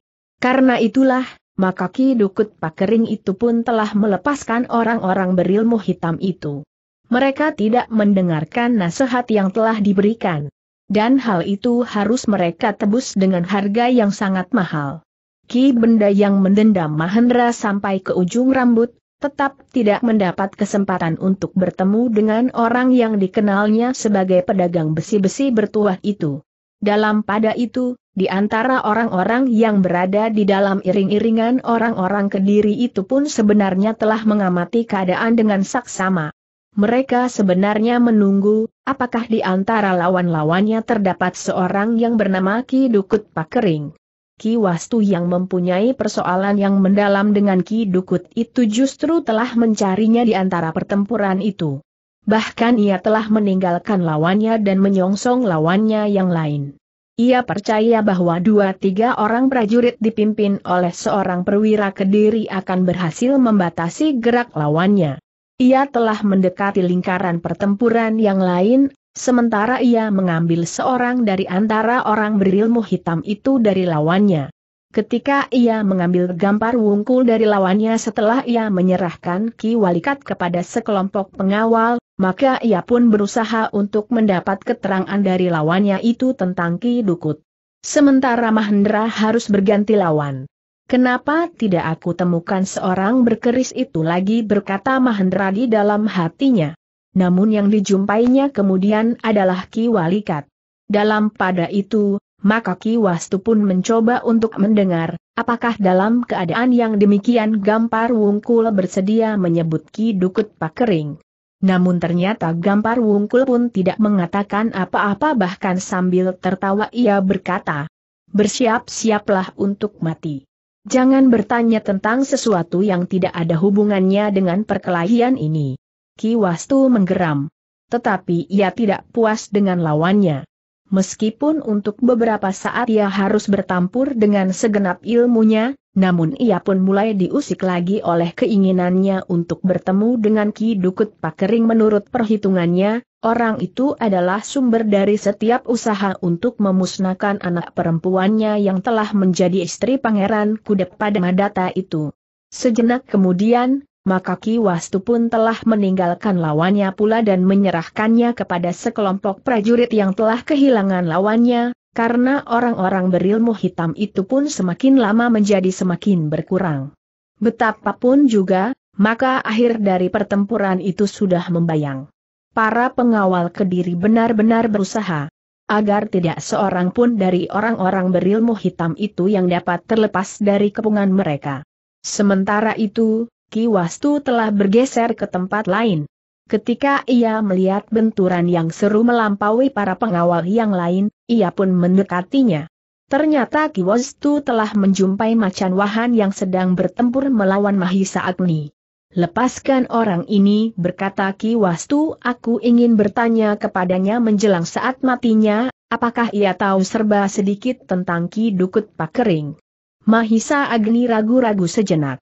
Namun ia pun kemudian memberikan kesempatan kepada Ki Wastu sambil berkata, Berhati-hatilah orang ini sangat berbahaya.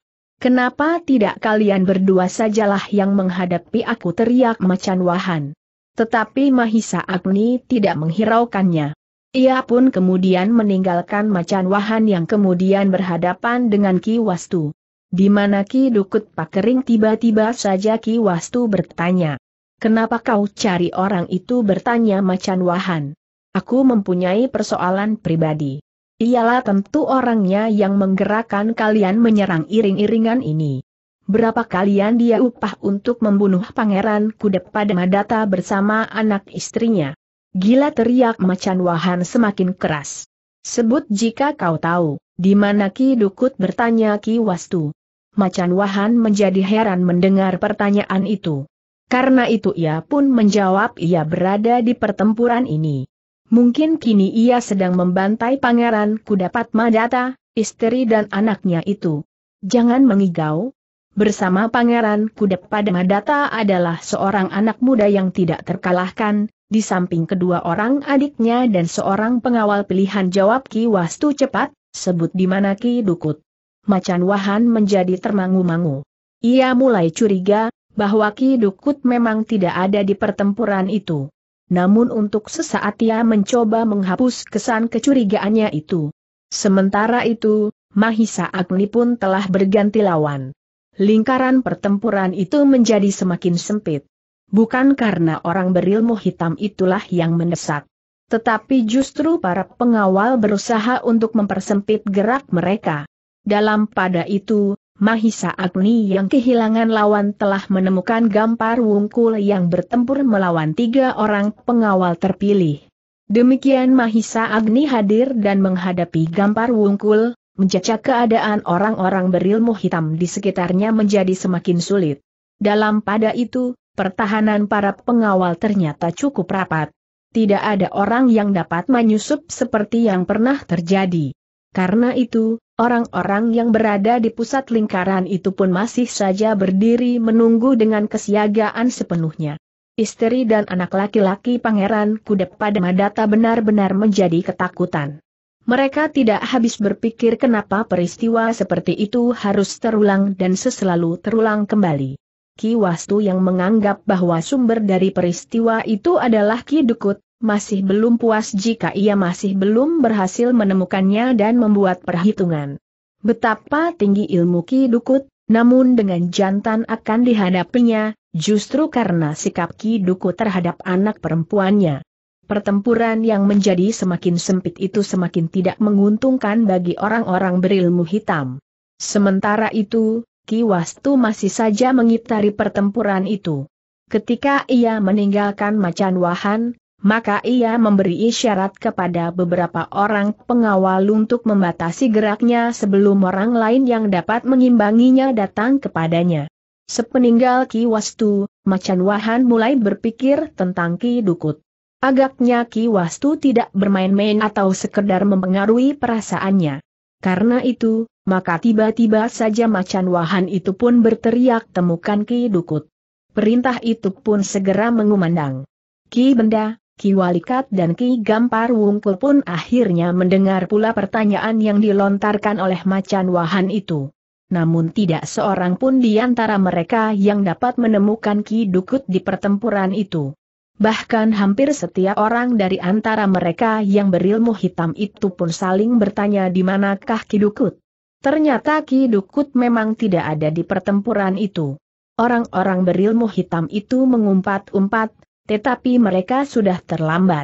Betapapun kemarahan mereka mencengkam jantung, namun mereka sudah terlanjur berada di dalam kepungan yang ketat, bahkan seolah-olah berada di dalam satu lapisan kulit lingkaran yang dibatasi di luar dan di dalam.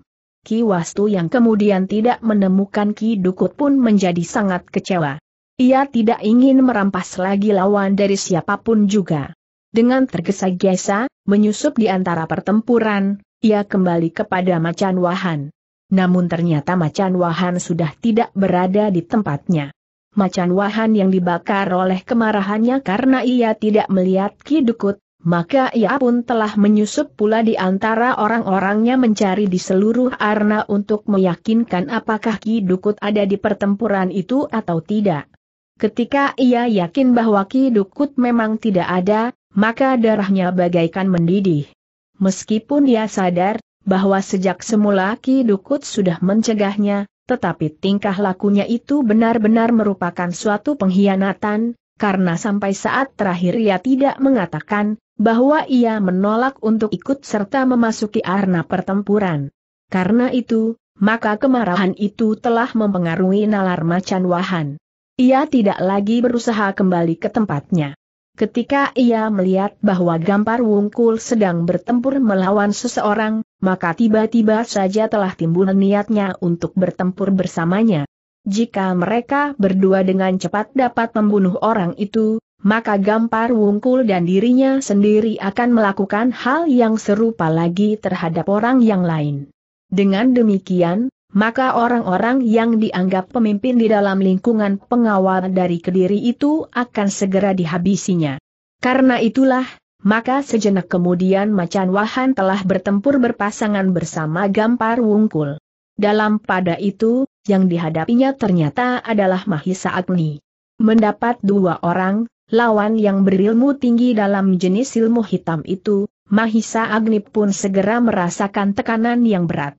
Namun dalam pada itu, Mahisa Agni tidak lagi berusaha mengekang dirinya dalam batas-batas tertentu dari ilmunya. Sebenarnya lah Mahisa Agni masih selalu membatasi diri untuk tidak menjadi pembunuh yang kejam di peperangan. Ia masih selalu membuat pertimbangan-pertimbangan tertentu.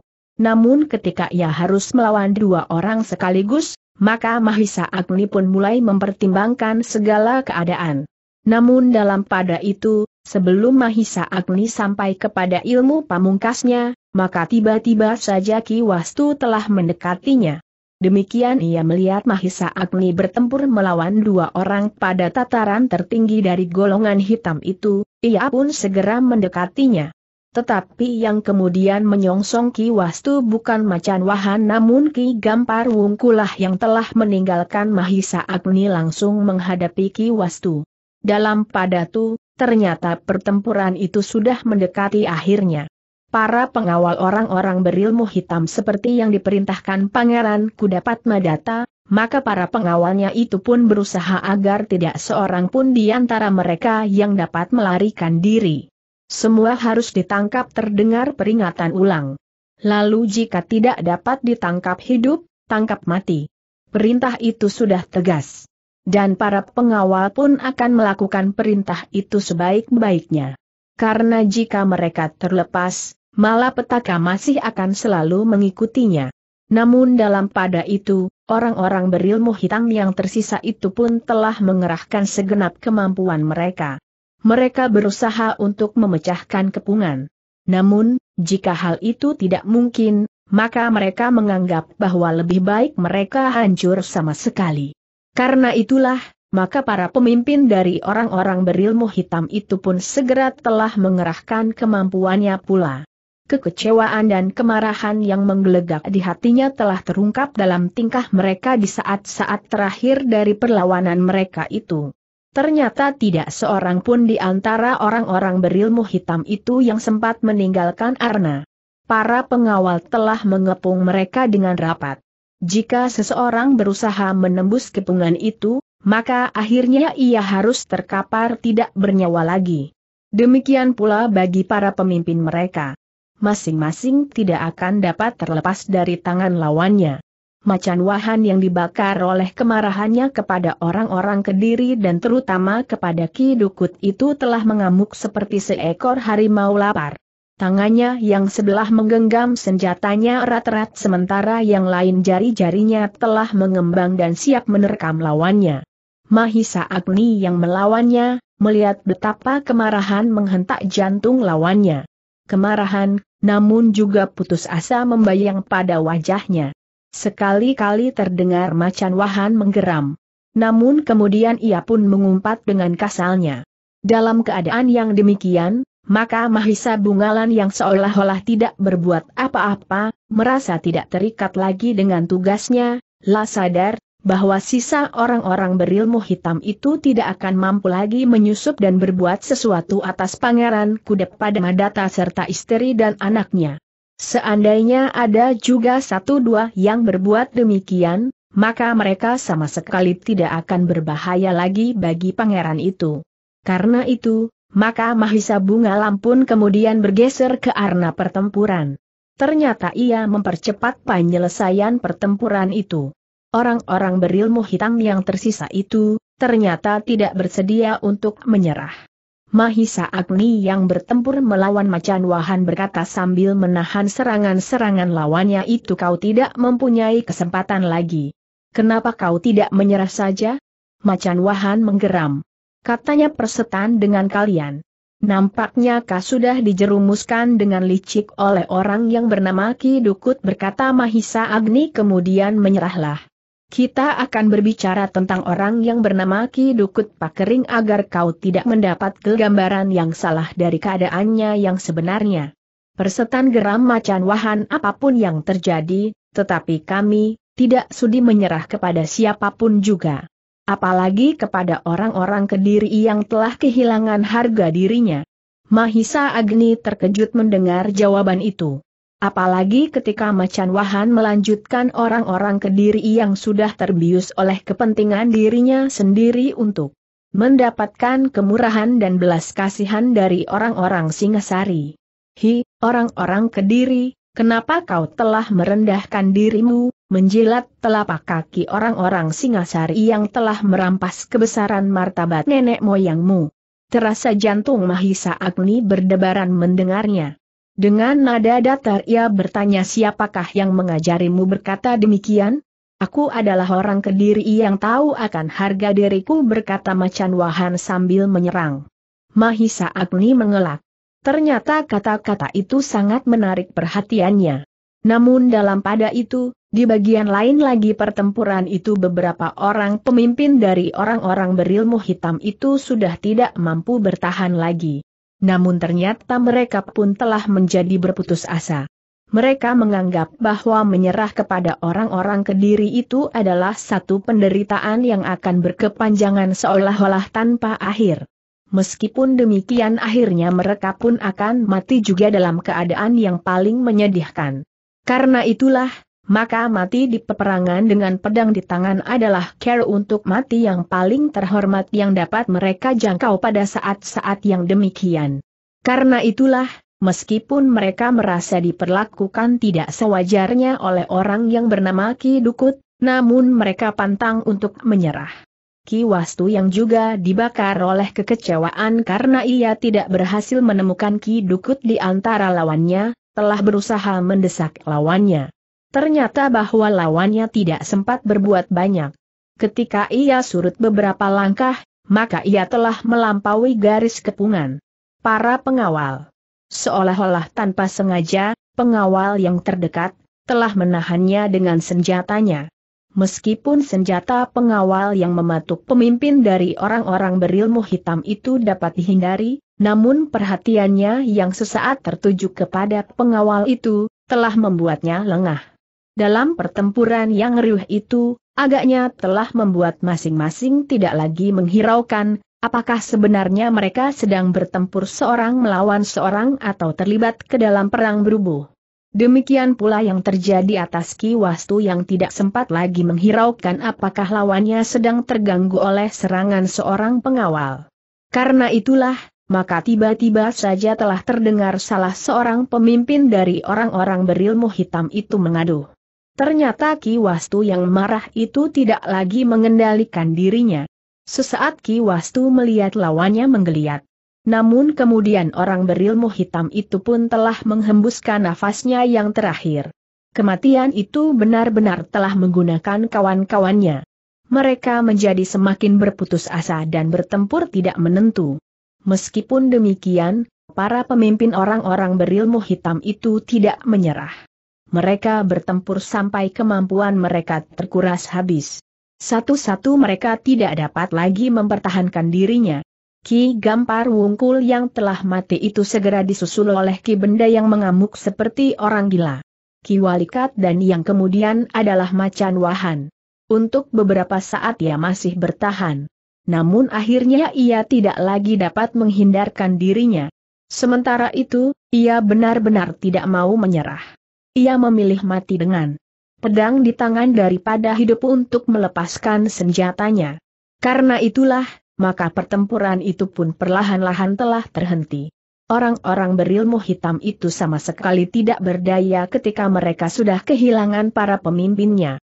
Namun dalam pada itu, betapapun rapatnya kepungan para pengawal dari Kediri, namun ternyata ada juga dua orang dari antara orang-orang berilmu hitam itu yang berhasil lolos. Dengan sekuat tenaga mereka melarikan diri menjauhi pertempuran yang baginya seperti neraka itu. Kawannya telah terbunuh. Bahkan para pemimpinnya telah terbunuh pula. Namun demikian kedua orang itu berlari melingkari segerumbul perdu, keduanya terkejut.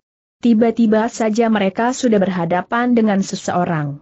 Tetapi keduanya pun kemudian menarik nafas dalam-dalam. Yang ada di hadapannya saat itu adalah Ki Dukut Pakering. Ki Dukut berkata salah seorang dari kedua orang itu. Semua kawan-kawan mencari Ki Dukut. Ki Dukut mengangguk-angguk. Katanya ya. Aku pun mengerti. Kenapa Ki Dukut tidak hadir di dalam pertempuran itu bertanya salah seorang dari mereka. Aku tidak mau membunuh diri jawab Ki Dukut aku sudah memperingatkan kepada kawan-kawanmu, bahwa sangat berbahaya untuk menyerang orang-orang kediri itu.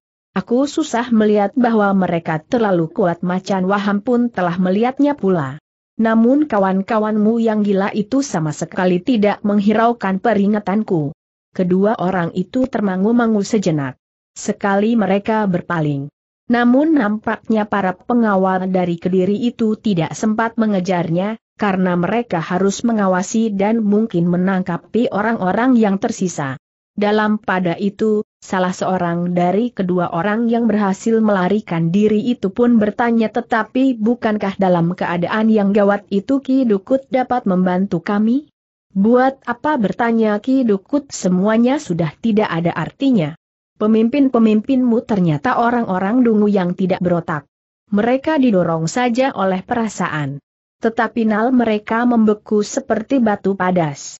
Kedua orang berilmu hitam itu termangu-mangu. Aku akan kembali ke padepokan Desiski Dukut. Dan meninggalkan kawan-kawan kita mati dan tertangkap bertanya salah seorang dari kedua orang itu. Lalu apa yang harus aku kerjakan bertanya Ki Dukut. Itu tidak semestinya yang lain menyahut apakah kita masih mungkin mencari kawan untuk membebaskan mereka yang tertangkap.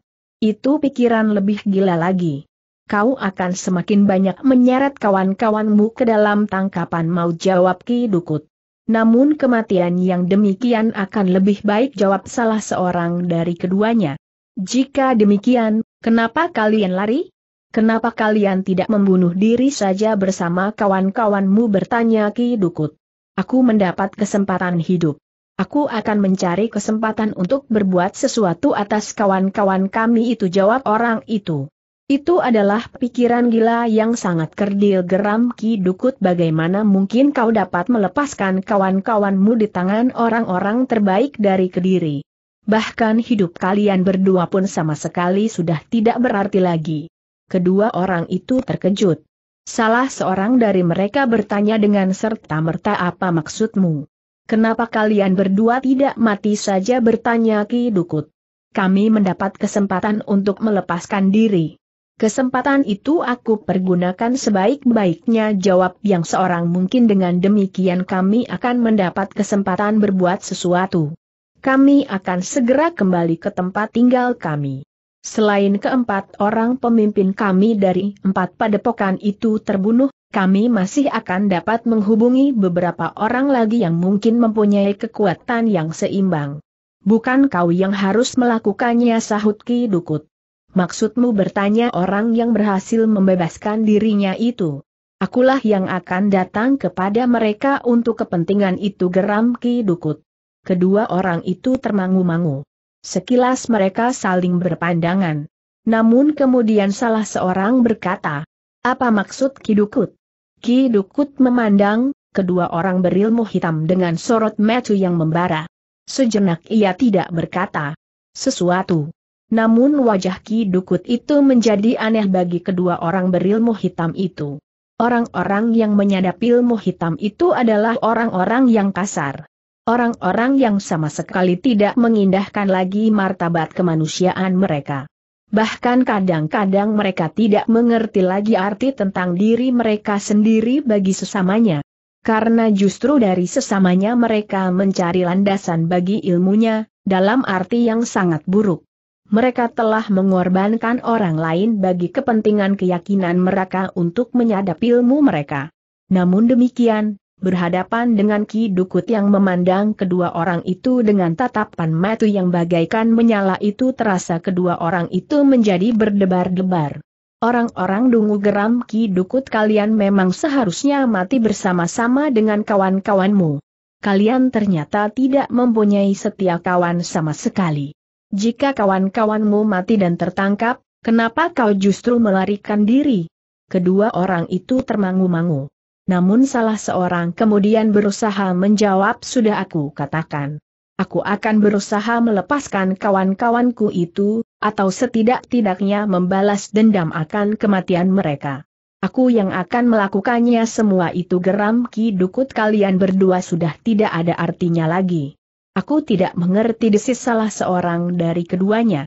Kalian memang terlalu bodoh geram Ki Dukut. Dengarlah. Kalian harus mati. Jika kalian tidak mati di medan pertempuran itu, maka akulah yang akan membunuh kalian berdua. Kedua orang itu terkejut. Selangkah mereka surut.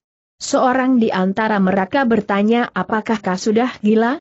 Apakah artinya kematian yang demikian? Jika aku tetap hidup, maka aku masih akan mempunyai arti. Mungkin aku masih akan dapat membalas dendam.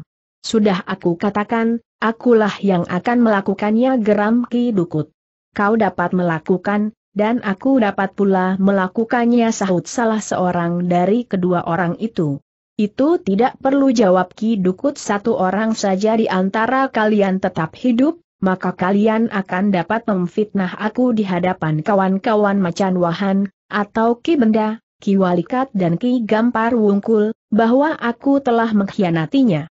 Padahal aku berusaha untuk mencegah mereka dari kemusnahan. Wajah kedua orang itu menegang. Salah seorang kemudian berkata jangan bodoh Ki Dukut. Aku tahu kau adalah orang yang luar biasa. Tetapi kau bagiku tidak lebih dari manusia biasa. Karena itu jangan berbuat sesuatu yang dapat merugikan dirimu sendiri. Persetan geram Ki Dukut bersiaplah untuk mati, agar tidak seorang pun yang akan dapat memfitnah aku. Kedua orang berilmu hitam itu nampaknya memang sudah tidak mempunyai pilihan lain. Karena itu, maka keduanya pun segera bersiap menghadapi segala kemungkinan. Salah seorang dari keduanya pun kemudian berkata aku sekarang mengerti Ki Dukut. Ternyata kau sengaja menjerumuskan kami, pemimpin-pemimpin kami ke dalam kematian.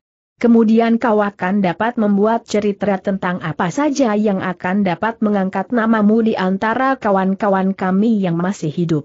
Ki Dukut tertawa. Katanya setan alas. Apa pun yang kau igaukan tidak berarti apa-apa. Katakan yang ingin kau katakan sebelum kalian akan mati. Kedua orang itu tidak menjawab. Namun kemudian keduanya telah bersiap menghadapi segala kemungkinan. Nampaknya Ki Dukut benar-benar akan membunuh keduanya. Sejenak kemudian ia pun bergeser selangkah siap untuk menyerang. Tetapi salah seorang dari kedua lawannya telah meloncat dengan senjata terjulur, sehingga Ki Dukut harus menghindarinya. Namun demikian ia menghindari yang seorang teluh menyorongnya sambil berteriak nyaring. Gila bentak Ki Dukut kau akan memanggil orang-orang kediri itu. Apa pedulimu yang lain justru berteriak pula aku memang sudah siap untuk mati. Mati di tanganmu atau mati di tangan orang-orang kediri. Ki Dukut mengumpat katanya licik. Kau sengaja memancing agar orang-orang kediri itu datang kemari. Aku tidak takut terhadap orang-orang kediri salah seorang dari kedua lawan Ki Dukut itu berteriak salah seorang dari kedua lawan Ki Dukut itu berteriak semakin keras apa artinya mati bagiku. Kawan-kawanku sudah mati semuanya. Dan kami berdua pun tidak akan takut lagi untuk mati. Ki Dukut menjadi semakin marah. Ia pun kemudian berusaha membunuh keduanya semakin cepat. Tetapi kedua orang itu telah dengan sengaja menarik diri keluar dari gerumbul-gerumbul perdu, justru mendekati. lingkaran pertahanan orang-orang Kediri. Apalagi mereka masih saja berteriak-berteriak tidak menentu. Ki Dukut menjadi berdebar-debar. Ia gelisah bukan karena kemampuan lawannya. Tetapi jika orang-orang Kediri itu mendengar, maka mereka akan berdatangan. Sebenarnya lah teriakan-teriakan itu lamat-lamat terdengar oleh orang Kediri. Meskipun mereka tidak segera menyadari keadaan, namun mereka segera tertarik kepada suara yang bagi mereka terdengar sangat aneh itu. Apalagi ketika teriakan-teriakan itu rasa-rasanya saling susul menyusul dibarengi dengan umpatan-umpatan kasar. Suara apakah sebenarnya itu seorang pengawal yang sedang bertugas berdesis kepada kawannya? Kita wajib mengetahuinya. Tetapi kita harus berhati-hati. Siapa tahu, sekelompok lawan sedang memancing kita jawab yang lain. Belum lagi pengawal-pengawal itu mengambil sikap, Mahisa Agni dan Witantra mendekati mereka sambil bertanya apakah yang kalian dengar? Teriakan-teriakan dan umpatan-umpatan kasar. Tetapi lamat-lamat jawab pengawal itu. Aku juga mendengar jawab Mahisa Agni biarlah kami berdua melihatnya, hati-hati. Biarlah para pengawal menyelesaikan tugas mereka di sini. Apakah kami berdua perlu ikut serta bertanya pengawal itu? Tetapi Mahisa Agni menggeleng tidak. Biarlah kami berdua saja menengoknya. Lakukanlah tugas kalian di sini sebaik-baiknya. Aku sudah minta diri kepada pangeran yang sedang sibuk. Dengan tergesa-gesa Mahisa Agni dan Witantra pun kemudian pergi ke arah suara itu. Para pengawal hanya dapat memandanginya dengan hati yang berdebar-debar. Namun mereka pun tahu, siapakah kedua orang itu. Meskipun para pengawal itu tidak tahu latar belakang dari kehidupan Mahisa Agni dan Witantra yang sebenarnya, namun mereka mengetahui bahwa keduanya adalah enam orang yang pilih tanding. Sementara itu Mahisa Agni dan Witantra pun menjadi semakin dekat dengan sumber suara itu. Karena itu, maka mereka pun mendengar semakin jelas. Seperti yang mereka duga, maka telah terjadi pertempuran yang sengit, di balik gerumbul-gerumbul perlu. Namun demikian, keduanya tidak segera mengetahui, siapakah yang telah bertempur itu. Tetapi dengan umpatan-umpatan kasar, Mahisa Agni dan Witantra pun segera mengetahui, bahwa salah satu pihak dari mereka yang bertempur itu adalah Ki Dukut. Ki Dukut pun bertempur dengan marahnya. Semakin keras lawannya berteriak, jantung Ki Dukut pun semakin cepat berdentang. Namun dengan demikian, maka ia pun bertempur semakin garang. Dua orang berilmu hitam itu ternyata bukan lawannya. Keduanya segera terdesak. Karena itu, maka kedua orang itu pun berusaha untuk memperpanjang umur mereka dengan berloncat-loncatan dan bahkan memancing Kidukut untuk keluar semakin jauh dari gerumbul-gerumbul perdu itu. Untuk bertahan, agar mereka tidak terlempar terlalu jauh keluar lindungan batang-batang perdu itulah yang menyebabkan Ki Dukut tidak segera dapat membunuh lawannya. Ia berusaha agar tidak terpancing terlalu jauh. Namun dengan demikian, maka geraknya pun menjadi semakin terbatas. Mahisa Agni dan Witantra menjadi semakin dekat dengan arna perkelahian itu. Namun demikian keduanya melihat bayangan yang berputar-putar dalam arna perkelahian, maka Ki Dukut pun sempat melihatnya pula. Secara naluriah, jantung Ki Dukut menjadi berdebaran. Kedua orang yang datang itu menurut tanggapan perasaan Ki Dukut tentu bukan orang kebanyakan. Langkah mereka ringan seperti kapas, sementara dengan yakin keduanya mendekati pertempuran, yang kasar itu. Pada saat terakhir itu, yang dapat dilakukan Ki Dukut adalah mempercepat penyelesaian. Ia berusaha untuk saat yang terakhir kalinya, menyelesaikan kedua orang lawannya, sehingga dengan demikian kedua orang itu tidak akan dapat memberikan kesaksian kepada siapa pun, apa yang telah dilakukannya di arena pertempuran itu.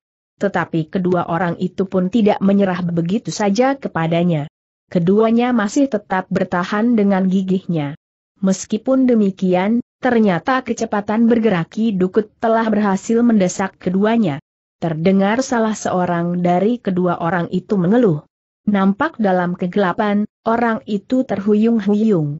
Namun sejenak kemudian ia telah berdiri tegang. Senjatanya masih berada di tangannya meskipun ternyata ia telah terluka di pundaknya.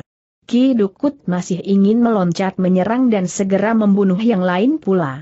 Namun bayangan yang datang itu sudah terlalu dekat, sehingga Ki Dukut itu pun mengumpat pengecut.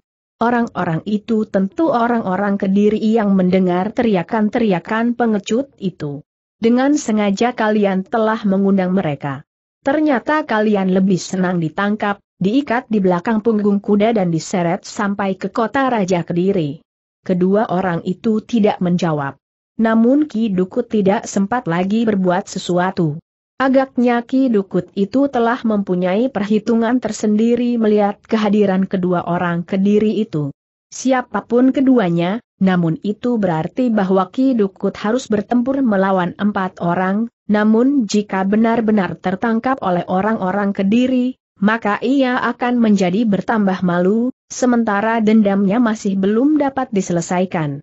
Dendamnya kepada Pangeran Kudek pada Madata dengan keluarganya, dan dengan orang-orang yang telah berpihak kepada pangeran itu.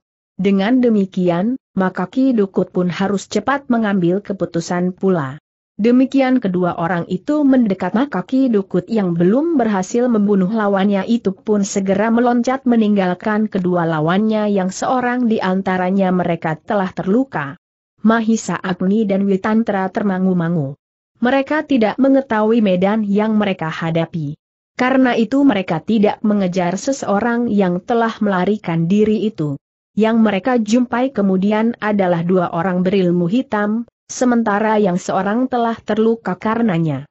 Ternyata kedua orang itu pun tidak lagi mempunyai niat untuk melawan. Karena itu, maka mereka pun segera menyatakan menyerahkan diri mereka kepada kedua orang yang mereka duga juga orang kediri pula. Mahisa Agni dan Witantra pun kemudian mengambil senjata kedua orang itu, yang telah dilemparkannya. Sejenak mereka saling memandang, namun kemudian Mahisa Agni bertanya siapakah kalian berdua? Aku adalah pengikut pemimpin-pemimpin kami yang telah kalian bunuh di medan jawab salah seorang dari keduanya kami berdua berhasil melarikan diri. Tetapi kami telah bertemu dengan orang yang akan membunuh kami. Siapakah orang itu bertanya Witantra. Ki Dukut Pakering jawab orang yang terluka. Mahisa Agni dan Witantra terkejut mendengar jawaban itu. Ternyata orang itu adalah Ki Dukut Pakering.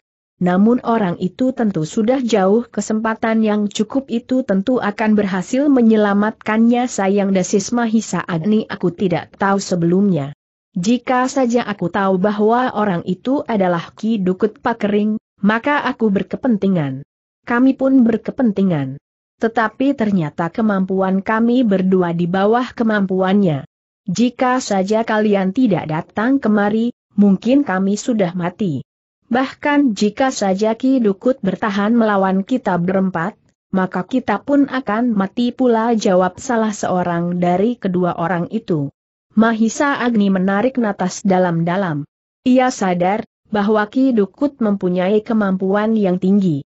Tetapi Mahisa Agni pun mengerti, bahwa Ki Dukut bukan orang yang tidak terlawan. Namun ia tidak mengatakannya kepada kedua orang yang sudah menyerah itu. Bahkan kemudian ia pun berkata, Marilah. Kalian akan aku serahkan kepada para pengawal. Kedua orang itu tidak membantah. Keduanya pun kemudian berjalan di depan, menuju ke tempat orang-orang kediri sibuk dengan bermacam-macam kewajiban. Mengurusi orang-orang yang terbunuh, yang menyerah dan mengurusi mereka yang terluka. Namun dalam pada itu, para pengawal yang bertugas berjaga-jaga pun tidak lengah mengamati keadaan. Apalagi mereka masih memperhitungkan kemungkinan-kemungkinan lain yang akan dapat terjadi. Kedatangan Mahisa Agni dan Witantra membawa dua orang tawanan itu sangat menarik. Apalagi ketika kemudian Mahisa Agni mengatakan bahwa mereka telah melihat Ki Dukut Pacering tetapi karena mereka tidak menyadarinya, maka orang itu dibiarkannya melarikan diri. Sayang desis Ki Wastu kenapa orang itu tidak dapat kita tangkap. Ia akan tetap merupakan ancaman bagi kita semuanya di masa mendatang. Perburuan itu harus dilanjutkan Mahisa Bungalanlah yang menyaut. Mahendra menarik nafas dalam-dalam. Meskipun ia pun sadar, bahaya yang akan dapat ditimbulkan oleh Ki Dukut Pakering, namun tidak akan dapat diambil keputusan dengan tergesa-gesa. Dalam pada itu, Pangeran Kudep pada Madata yang masih muda seperti juga Mahisa Bungalan, apalagi ia merasa mempunyai kepentingan langsung, maka dengan suara yang bergetar oleh kemarahan berkata apa pun caranya, orang itu harus tertangkap. Aku berterima kasih, bahwa Ki Dukut telah memberikan ilmu kepadaku. Namun apa yang dilakukan pada saat-saat terakhir benar-benar sudah melampaui batas-batas kemanusiaan. Karena itu, maka, apa pun caranya, orang itu harus tertangkap. Hidup atau mati. Mahisa Agni menarik nafas dalam-dalam. Katanya, baiklah. Kita akan memikirkan caranya. Sementara ini, kita bersiap-siap untuk kembali ke Kediri esok pagi-pagi. Pangeran Kudep pada Madata pun tidak menjawab lagi. Betapapun jantungnya bergejolak, namun ia pun menyadari apa yang sedang dihadapinya. Apalagi saat itu ia bersama dengan istri dan anaknya laki-laki, yang termasuk menjadi sasaran dendam Ki Dukut yang nampaknya tidak akan kunjung padam. Dalam pada itu, maka Pangeran Kudep pada Madata pun kembali sibuk dengan keadaan yang dihadapinya waktu itu. Ia memerintahkan mengubur orang-orang yang terbunuh di peperangan, yang semuanya adalah orang-orang berilmu hitam. Para pengawal kediri seperti yang sudah terjadi, tidaklah berkurang. Ada beberapa orang terluka parah. Sementara ada pula yang luka-luka ringan, namun masih dapat melakukan tugasnya. Sementara di antara orang-orang berilmu hitam yang terluka, tetapi masih dapat ditolong jiwanya pun telah mendapat perawatan seperlunya. Untunglah, Kediri tidak terlalu jauh lagi desis Mahendra kepada kedua anak-anaknya, Mahisa Murti dan Mahisa Pukat. Ya jawab Mahisa Murti nampaknya tugas para pengawal menjadi semakin berat. Kecuali kekuatan mereka berkurang karena di antara mereka telah terluka, agaknya mereka mendapat tugas yang terlalu berat. Besok kita akan mencapai Kediri berkata Mahisa Pukat aku kira benar Kakang Mahisa Bungalan yang menganggap bahwa perburuan harus segera dilakukan selagi Ki Dukut masih berada di sekitar tempat ini. Malam ini Ki Dukut sudah berada di tempat yang sama sekali tidak kita kenal, dan tidak kita duga berkata Mahendra memang agak berbeda dengan berburu harimau.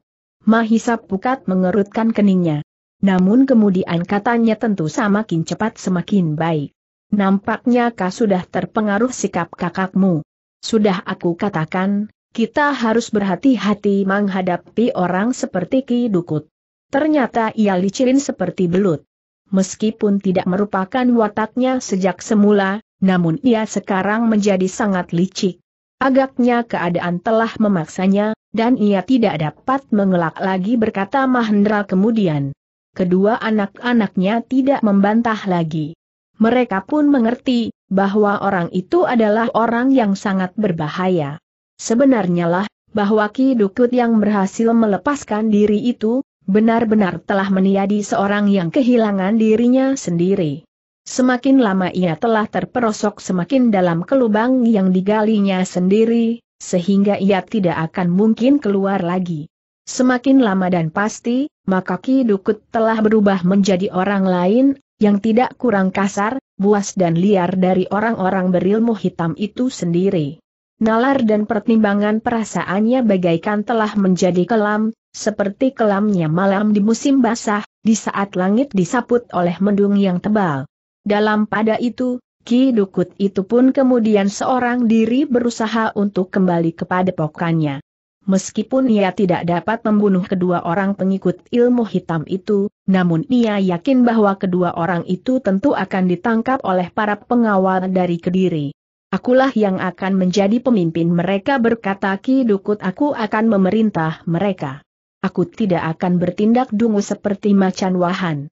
Jika saja ia mendengarkan nasihatku, maka orang-orangnya tidak akan hancur menjadi debu. Ki Dukut menggeretakkan giginya dan menghentakkan tangannya. Tetapi semuanya itu telah terjadi. Betapapun ia menyesali, namun orang-orang terbaik dari padepokan Macan Wahan dan tiga orang kawannya telah mati dan tertangkap. Tetapi Ki Dukut telah mengenal beberapa orang lain di lingkungan orang-orang berilmu hitam.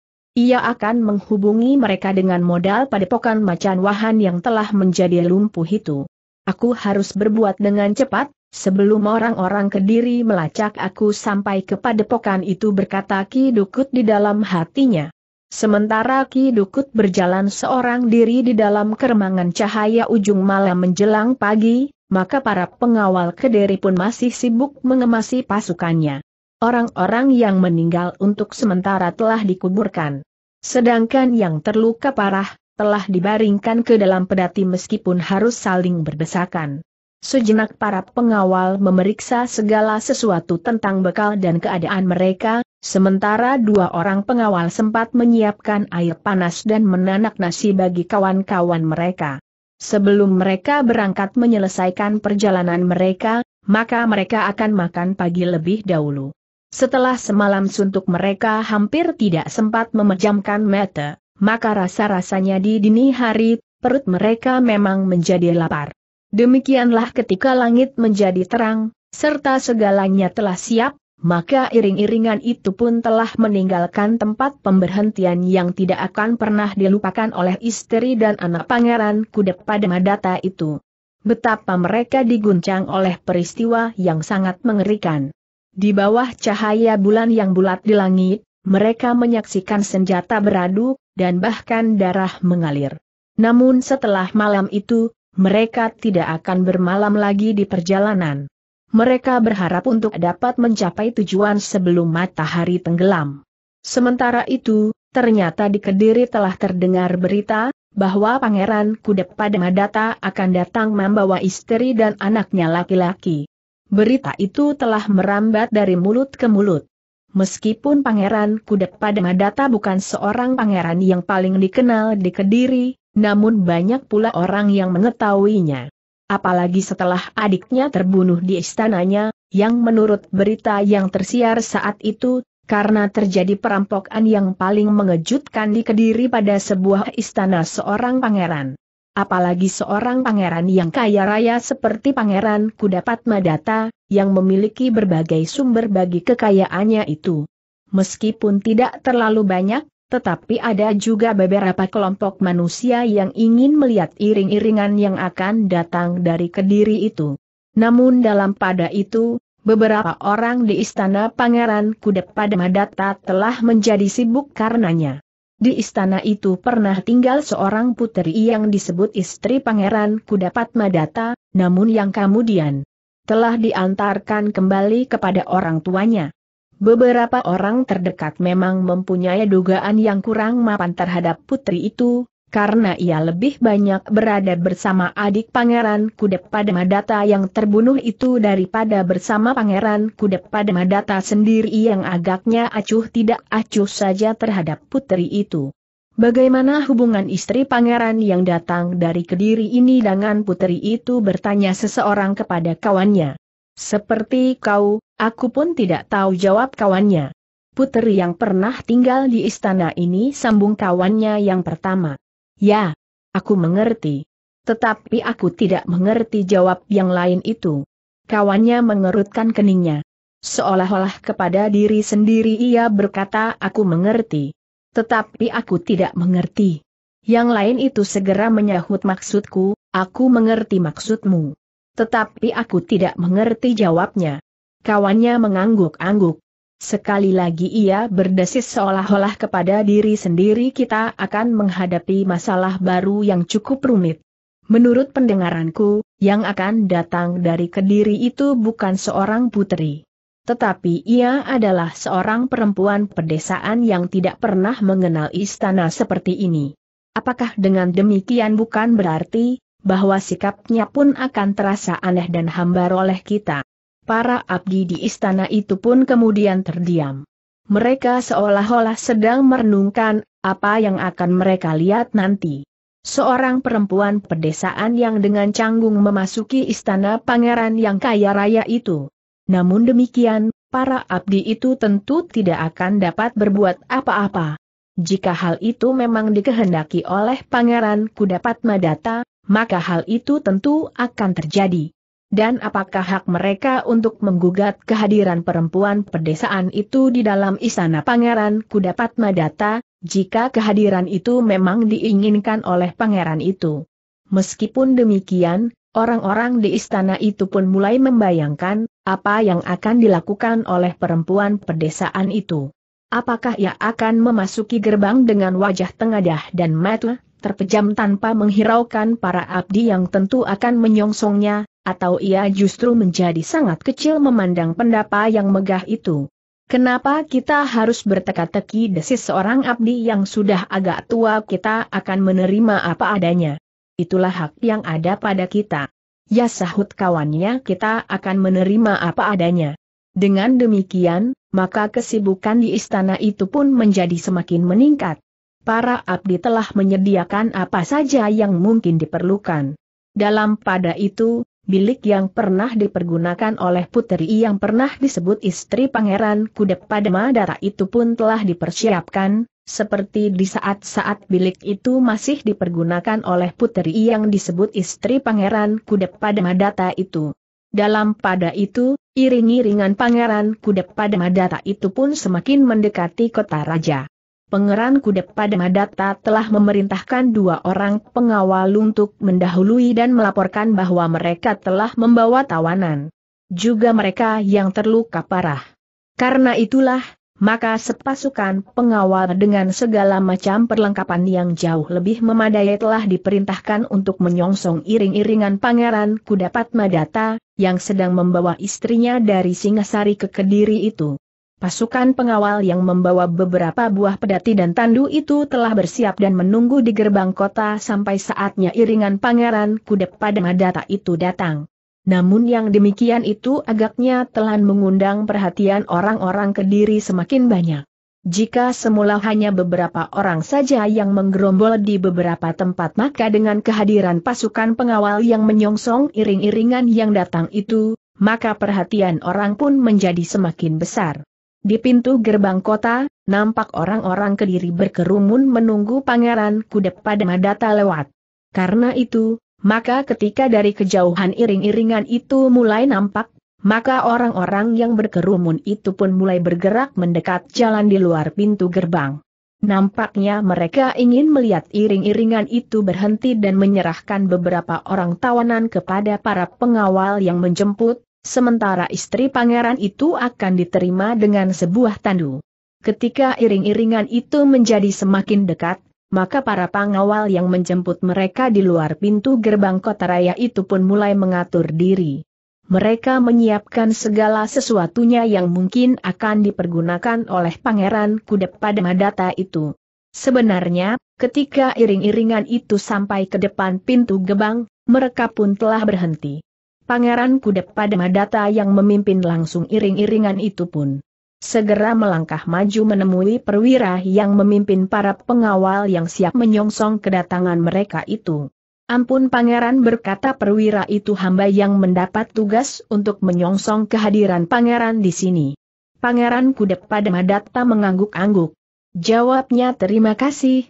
Aku senang sekali dapat bertemu dengan kalian setelah kami titik mengalami bencana sampai dua kali di sepanjang jalan oleh pihak yang sama. Perwira itu mengangguk-angguk. Katanya utusan pangeran sudah menceritakan, apa yang telah terjadi dengan iring-iringan Tuan. Karena itulah, maka kami telah menyiapkan segala sesuatu yang barangkali Tuan perlukan. Aku menyerahkan para tawanan. Yang terluka dan yang tidak terluka berkata pangeran ku dapat madata. Akan hamba terima dengan senang hati berkata perwira itu memang itu adalah kewajiban kami. Selebihnya, para pengawal sendiri yang terluka. Kalian akan menerima mereka, dan mempertanggungjawabkan mereka, agar mereka tidak mengalami sesuatu yang justru dapat mempersulit keadaan mereka. Hamba Tuan. Semuanya akan hamba lakukan sebaik-baiknya berkata perwira itu, lalu selebihnya, karena hamba tahu bahwa pangeran sedang menyongsong seorang puteri, maka aku pun telah menyiapkan sebuah tandu. Tandu Pangeran Kudep pada Madatta mengulangi. Ya, Tandu, Bukankah sudah semestinya jika seorang putri menempuh perjalanan, biasanya memang mempergunakan tandu? Bukan pedati. Pangeran Kudep pada Madata menarik nafas dalam-dalam. Ia pun segera merasa satu kelainan dari saudara-saudaranya, para pangeran di Kediri. Mungkin mereka akan dengan garangnya minta agar istri-istri mereka yang pada umumnya juga putri-putri Kediri itu dapat disediakan sebuah tandu yang cantik. Meskipun demikian Pangeran Kudep pada Madata tidak menolak. Para pengawal itu telah membawa tandu untuk menjemput istrinya. Siapa pun perempuan itu. Namun, Pangeran Kudep pada Madata tidak segera menyuruh istrinya naik ke atas tandu itu. Yang pertama-tama diselesaikan adalah masalah tawanan dan para pengawal yang terluka. Bawalah mereka perintah Pangeran Kudapat Madata. Baiklah Pangeran. Silahkan pangeran berjalan dahulu jawab perwira yang menjemputnya. Tidak jawab pangeran kudep pada madata bawalah mereka lebih dahulu. Aku akan berjalan kemudian langsung kembali ke istanaku. Perwira itu tidak mengerti, kenapa pangeran kudep pada madata memerintahkannya berjalan lebih dahulu. Namun ia tidak dapat menolak. Ia pun kemudian menyiapkan para pengawal untuk membawa para tawanan dan para pengawal yang terluka para tawanan dan para pengawal yang terluka telah dipindahkan dari pedati yang dibawa dari Kediri ke pedati para pengawal. Baru setelah para pengawal yang menjemput mereka meninggalkan pintu gebang, maka Pangeran Kudep Padma Data telah bersiap-siap untuk melanjutkan perjalanan. Namun ia pun mengerutkan keningnya ketika dilihatnya. Sebuah tandu yang cukup baik dengan 12 orang yang siap untuk membawanya berganti-ganti. Tandu itu ia berdesis. Mahisa Agni yang kemudian mendekatinya berkata, Sebaiknya tandu itu dipergunakan agar tidak menimbulkan pertanyaan yang sangat menarik bagi orang-orang yang sedang menyaksikan. Di luar sadarnya Pangeran Kudep pada Madata berpaling kepada istrinya. Namun kemudian ia pun mendekatinya sambil berkata tandu itu diperuntukkan bagimu. Ah desah istrinya lebih baik hamba berada di dalam pedati pangeran. Jangan pangeran kudep pada madata menggeleng kau harus menyesuaikan dirimu. Apalagi di hadapan orang-orang yang sengaja ingin melihat tingkah laku kita. Istri pangeran kudep pada madata itu tidak dapat membantah. Namun ia masih juga memandangi ayahnya untuk mendapatkan pertimbangan. Ki Wastu mengangguk kecil. Memang tidak ada pilihan lain, kecuali melakukan apa yang seharusnya dilakukan sebagai seorang istri pangeran. Karena itu, maka dibimbing oleh suaminya, maka istri pangeran itu pun kemudian naik ke atas tandu. Delapan orang sudah siap untuk mengangkatnya, sementara empat orang lainnya akan secara bergantian mengangkat tandu itu pula. Rasa-rasanya memang canggung sekali. Duduk di atas sebuah tandu yang diangkat oleh delapan orang, sementara empat orang lainnya mengiring di sebelah menyebelah. Sejenak kemudian iring-iringan itu pun mulai bergerak. Pangeran Kuda pada Madata berada di atas punggung kuda, sementara istrinya berada di dalam tandu. Anak laki-laki pangeran itu berada di dalam pedati bersama Mahisa Murti dan Mahisa Pukat yang sengaja mengawaninya. Kuda mereka telah mereka ikatkan pada pedati itu pula yang saiznya adalah Mahendra sendiri. Bagaimanapun juga, maka orang-orang yang menyaksikan iring-iringan itu harus berbisik di antara mereka perempuan itu memang cantik sekali. Sayang, agak kurus dan pucat. Justru ia pucat, maka wajahnya nampak semakin cantik sahut yang lain. Dalam pada itu, istri pangeran kudep pada madata itu hanya dapat menundukkan kepalanya. Rasa-rasanya berpuluh-puluh pasang metu sedang mengamatinya. Melihat cacat celanya, Justru karena ia adalah seorang perempuan dari padepokan kecil. Karena itulah, maka istri pangeran kudep pada madata itu rasa-rasanya tidak berani bergerak sama sekali. Apalagi mengangkat wajahnya. Bahkan ketika ujung jarinya terasa gatal, maka ia sama sekali tidak berani menggerakkannya. Meskipun tidak terlalu banyak, tetapi ada juga orang-orang yang menunggu iring-iringan itu di sepanjang jalan menuju ke istana Pangeran Kudapat Madata. Pada umumnya, mereka pun berbisik perempuan itu memang cantik sekali. Sebenarnya perempuan itu memang cantik sekali. Wajahnya yang nampak pucat dan tubuhnya yang kekurus-kurusan, justru membuatnya lebih manis. Sementara pangeran kuda pada Madata sendiri, seorang pangeran yang kaya raya, duduk di atas punggung kudanya, seperti seorang senopati yang pulang dari Medan, membawa boyongan puteri dari negeri yang ditaklukannya. Perjalanan menyusur jalan kota itu rasa-rasanya terlalu panjang bagi istri pangeran kudapat Madata. Ia memang lebih senang berada di dalam pedati yang agak tertutup daripada di atas tandu yang terbuka. Ketika tandu itu memasuki pintu gerbang istana pangeran kudapat Madata, maka istrinya itu pun menarik nafas dalam-dalam. Rasa-rasanya ia telah terlepas dari satu beban yang sangat berat. Wajahnya yang terasa menjadi sangat panas itu, mulai terasa sejuk.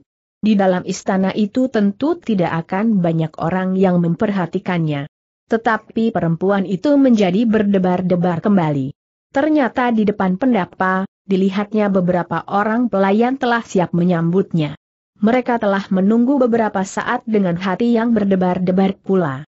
Mereka segera ingin melihat, bagaimana wujud perempuan yang disebut istri pangeran Kudep pada Madata itu. Sementara mereka pernah mengenal seorang putri yang disebut istri pangeran Kudep pada Madata itu pula. Demikian tandu itu mendekati, maka perempuan-perempuan dan para abdi yang menyambut itu pun berbisik. Betapa cantiknya perempuan itu. Semua orang di antara para abdi itu mengakui, betapa cantiknya perempuan itu. Selagi ia mengenakan pakaian yang tidak berlebih-lebihan. Jika ia mengenakan pakaian kebesaran seorang putri, maka ia benar-benar akan melampaui kecantikan setiap putri kediri yang terkenal. Namun justru karena itu, maka setiap mata telah melekat kepada perempuan itu. Karena itulah, rasa-rasanya, jantung istri pangeran kuda pada Madata itu menjadi semakin cepat berdentang. Perempuan itu menjadi semakin canggung, ketika para pelayan itu pun segera berjongkok ketika tandu itu diletakkan di bawah tangga pendapa. Karena itu, maka untuk sejenak, ia bagaikan membeku di tempatnya. Pangeran Kuda pada Madatalah yang kemudian meloncat turun. Setelah menyerahkan kudanya kepada orang lain, maka ia pun segera mendekati istrinya. Marilah berkata pangeran itu kemudian sambil membimbing istrinya turun dari tandu yang sudah diletakkan. Sebenarnya lah bahwa hati istri pangeran Kudep pada Madata itu menjadi semakin bergetar. Ia menyangka bahwa jika ia sampai di istana maka ia pun akan segera di luar pengamatan banyak orang. Namun ternyata bahwa dugaan itu keliru. Masih berpasang-pasang metu yang mengawasinya. Bahkan ada di antara sorot metu itu menunjukkan kecurigaan, penghinaan dan yang lain ingin menjajagi ketabahan hatinya. Tiba-tiba saja terasa kakinya menjadi gemetar. Namun ketika ia sadar bahwa ia telah dibimbing oleh suaminya, maka hatinya pun telah menjadi agak kembang. Bagaimanapun juga ia merasa bahwa ia benar-benar telah mendapat pegangan. Bukan saja pegangan wadak karena suaminya telah membimbingnya, namun ia merasa bahwa suaminya itu benar-benar akan melindungi dan membimbingnya untuk selanjutnya. Dengan langkah-langkah ragu ia pun kemudian mengikuti ke mana suaminya membawanya.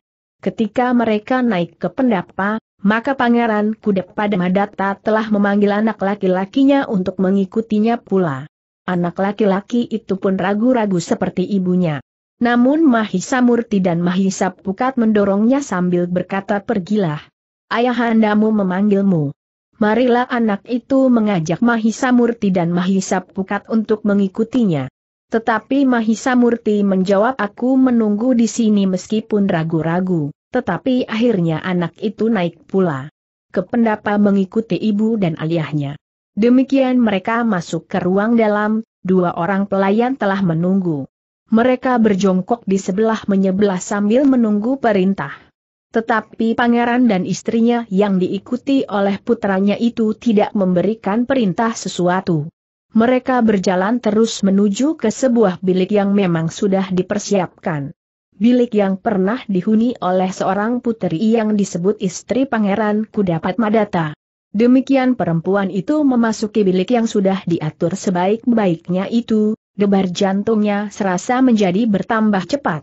Perabotnya yang serba indah membuatnya menjadi silau. Kantil yang terukir halus. Geledek kayu dan selintru yang juga terukir dan disungging dengan warna-warna cerah.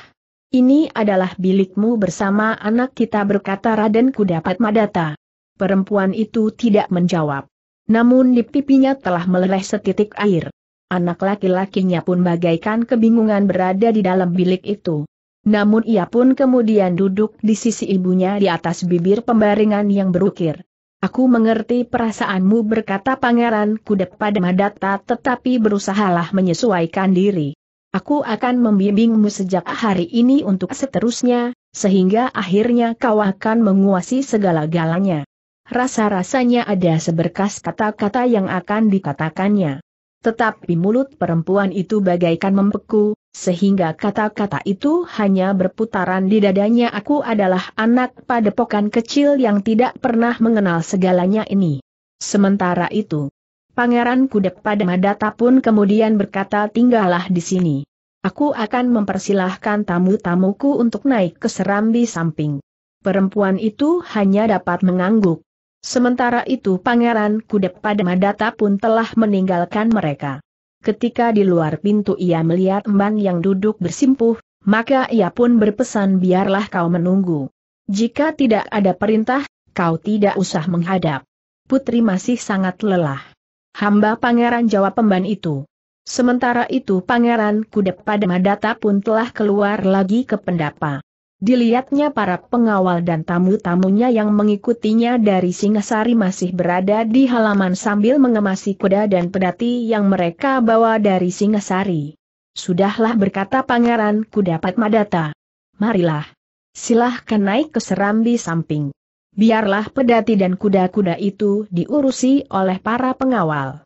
Dengan demikian, maka Mahisa Agni, Witantra, Mahendra dan ketiga anak-anaknya serta Ki Wastu bersama perwira pasukan pengawal itu pun segera naik ke serambi samping, sementara beberapa orang pengawal telah membenahi kuda dan pedati serta lembu penariknya.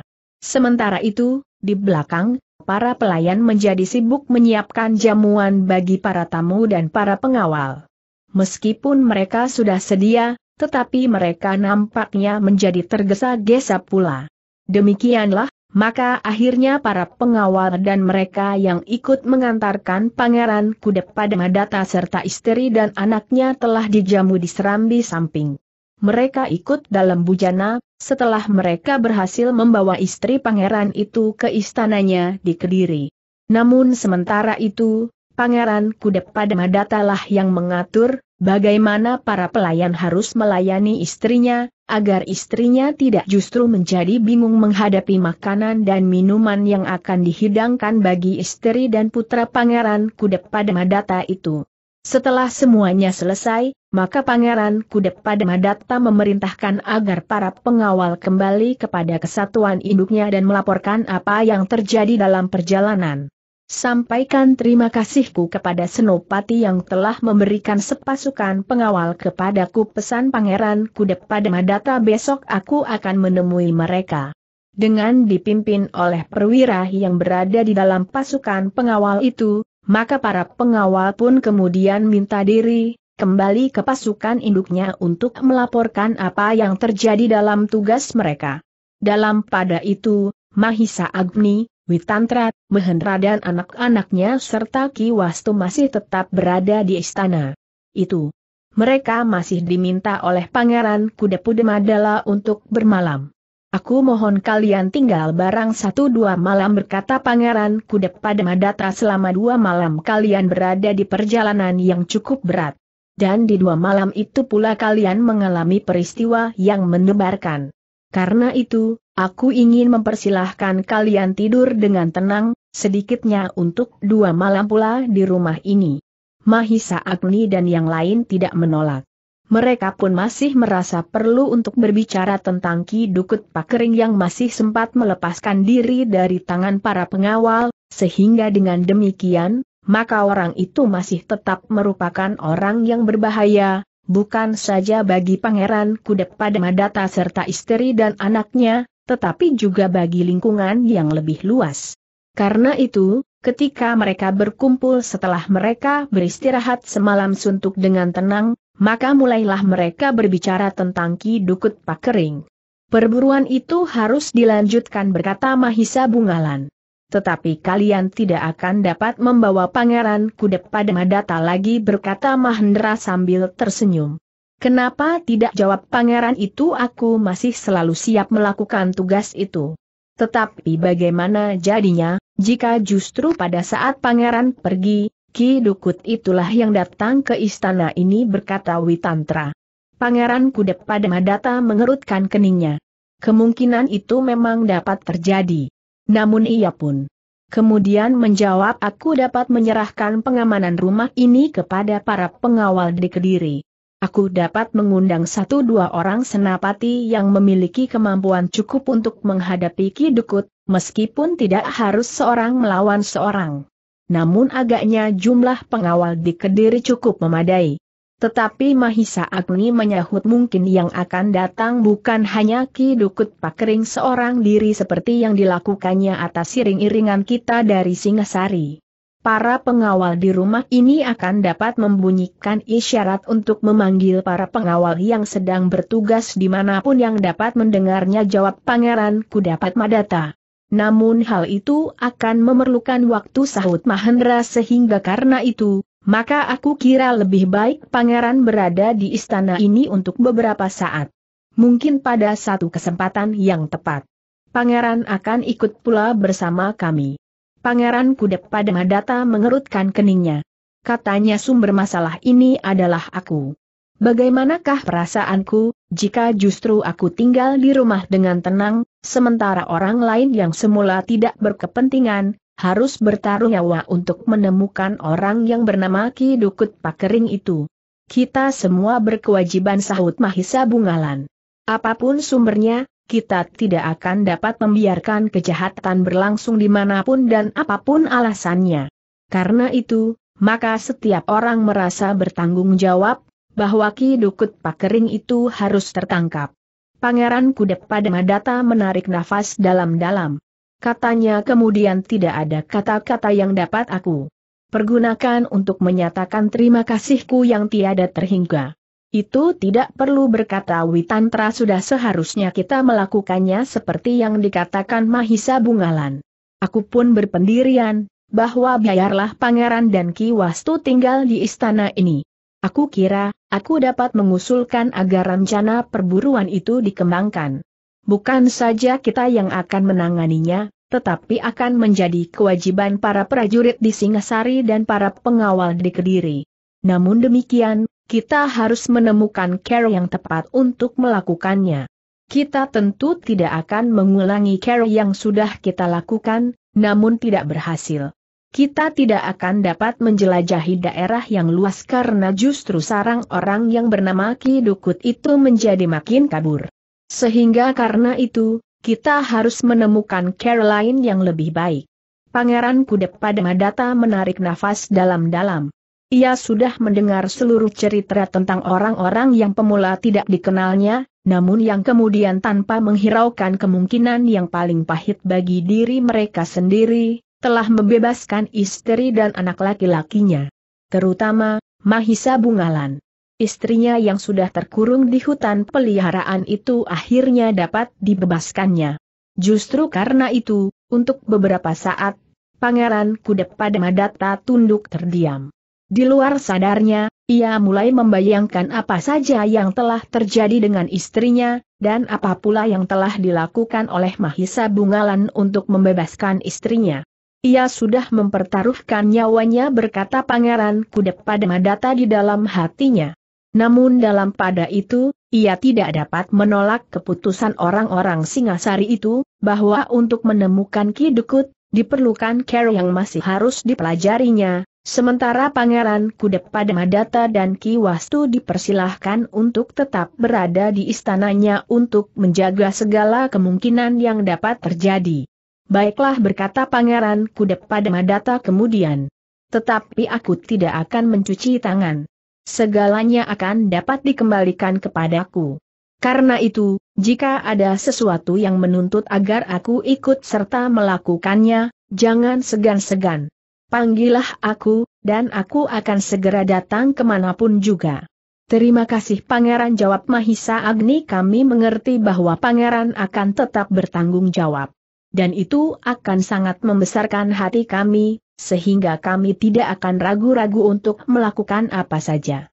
Mudah-mudahan usaha kita akan berhasil desis Pangeran Kudep pada Madata meskipun Ki Dukut adalah guruku, namun ia telah menyimpang dari sifat seorang guru. Bahkan ia telah terjerumus ke dalam tindakan yang dapat disebut satu kejahatan. Namun demikian, Pangeran Kudep pada Madata masih minta tamu-tamunya dari Singasari untuk tinggal. Rasa-rasanya ia masih belum puas mengucapkan terima kasih dengan care apa pun juga yang dapat dilakukan. Dalam pada itu, kehadiran istri pangeran itu pun telah menumbuhkan persoalan bagi para pelayan. Emban yang akan melayaninya pun menjadi bingung. Kadang-kadang putri itu tidak dapat dimengerti kehendaknya. Bahkan kadang-kadang dia lebih senang berada di balik pintu tertutup tanpa memberikan perintah apa pun juga. Bahkan kadang-kadang ia telah mengerjakan sesuatu yang tidak pantas. Dikerjakannya, sehingga para emban menjadi bingung. Dan bahkan ada di antara mereka yang menangis di belakang dengan tubuh gemetar, karena ia mengira bahwa putri itu telah marah, karena ia salah melakukan salah satu perintahnya. Tetapi satu hal yang telah dikagumi oleh setiap orang, Apalagi ketika putri itu mulai mengenakan pakaian yang lebih pantas bagi seseorang istri pangeran. Maka mereka telah sependapat, bahwa putri itu memang sangat cantik, jauh lebih cantik dari putri yang pernah tinggal di istana itu, dan yang pernah disebut istri pangeran Kudapat Madata, tetapi yang dalam kehidupannya sehari-hari lebih dekat dengan adik pangeran Kudapat Madata itu. Ternyata bukan saja para pelayan, emban dan dayang-dayang yang mengagumi kecantikan putri itu. Di luar sadarnya, ketika sepintas Mahisa Bungalan yang masih berada di istana itu melihat putri itu dalam pakaian dan riasnya sebagai istri seorang pangeran, maka jantungnya telah berdenyut. Ia telah berbuat terlalu banyak bagi perempuan itu. Ia telah membebaskannya dari sarang para penculiknya dan perbuatan lain yang dapat mengancam keselamatannya. Namun anak muda itu cepat menyadari. Perempuan itu adalah istri pangeran Kudapat Madata. Yang dilakukannya itu adalah semata-mata karena sentuhan peri kemanusiaan yang menjadi kewajiban setiap orang. Tetapi ia tidak dapat begitu saja menghapus kesan kecantikan yang dilihatnya.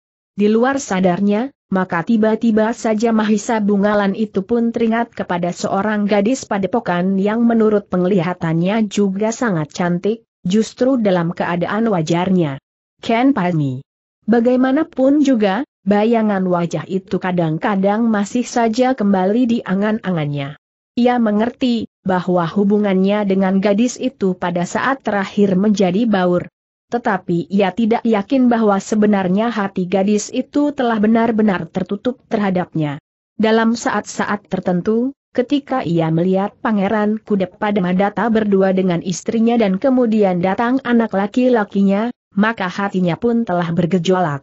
Kenangannya terhadap gadis padepokan kecil itu justru semakin membayang.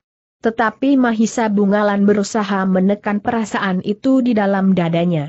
Ia tidak mengatakannya kepada siapa pun juga. Ia tidak mengatakannya kepada ayahnya, dan kepada adik-adiknya yang justru diharapkan kemudian, segera meninggalkan istana itu. Ia akan kembali ke Singasari. Dan ia pun masih menunggu keputusan, care yang manakah yang dapat ditempuhnya untuk mencari orang yang bernama Ki Dukut Pakering. Aku akan mempergunakan kesempatan itu untuk melihat satu kemungkinan tentang gadis padepokan itu berkata Mahisa Bungalan di dalam hatinya. Meskipun ia pun selalu dibayangi oleh satu kecemasan, bahwa gadis itu telah menentukan jalan hidupnya, setelah ia tidak dapat berharap untuk bertemu dengan Mahisa Bungalan kembali.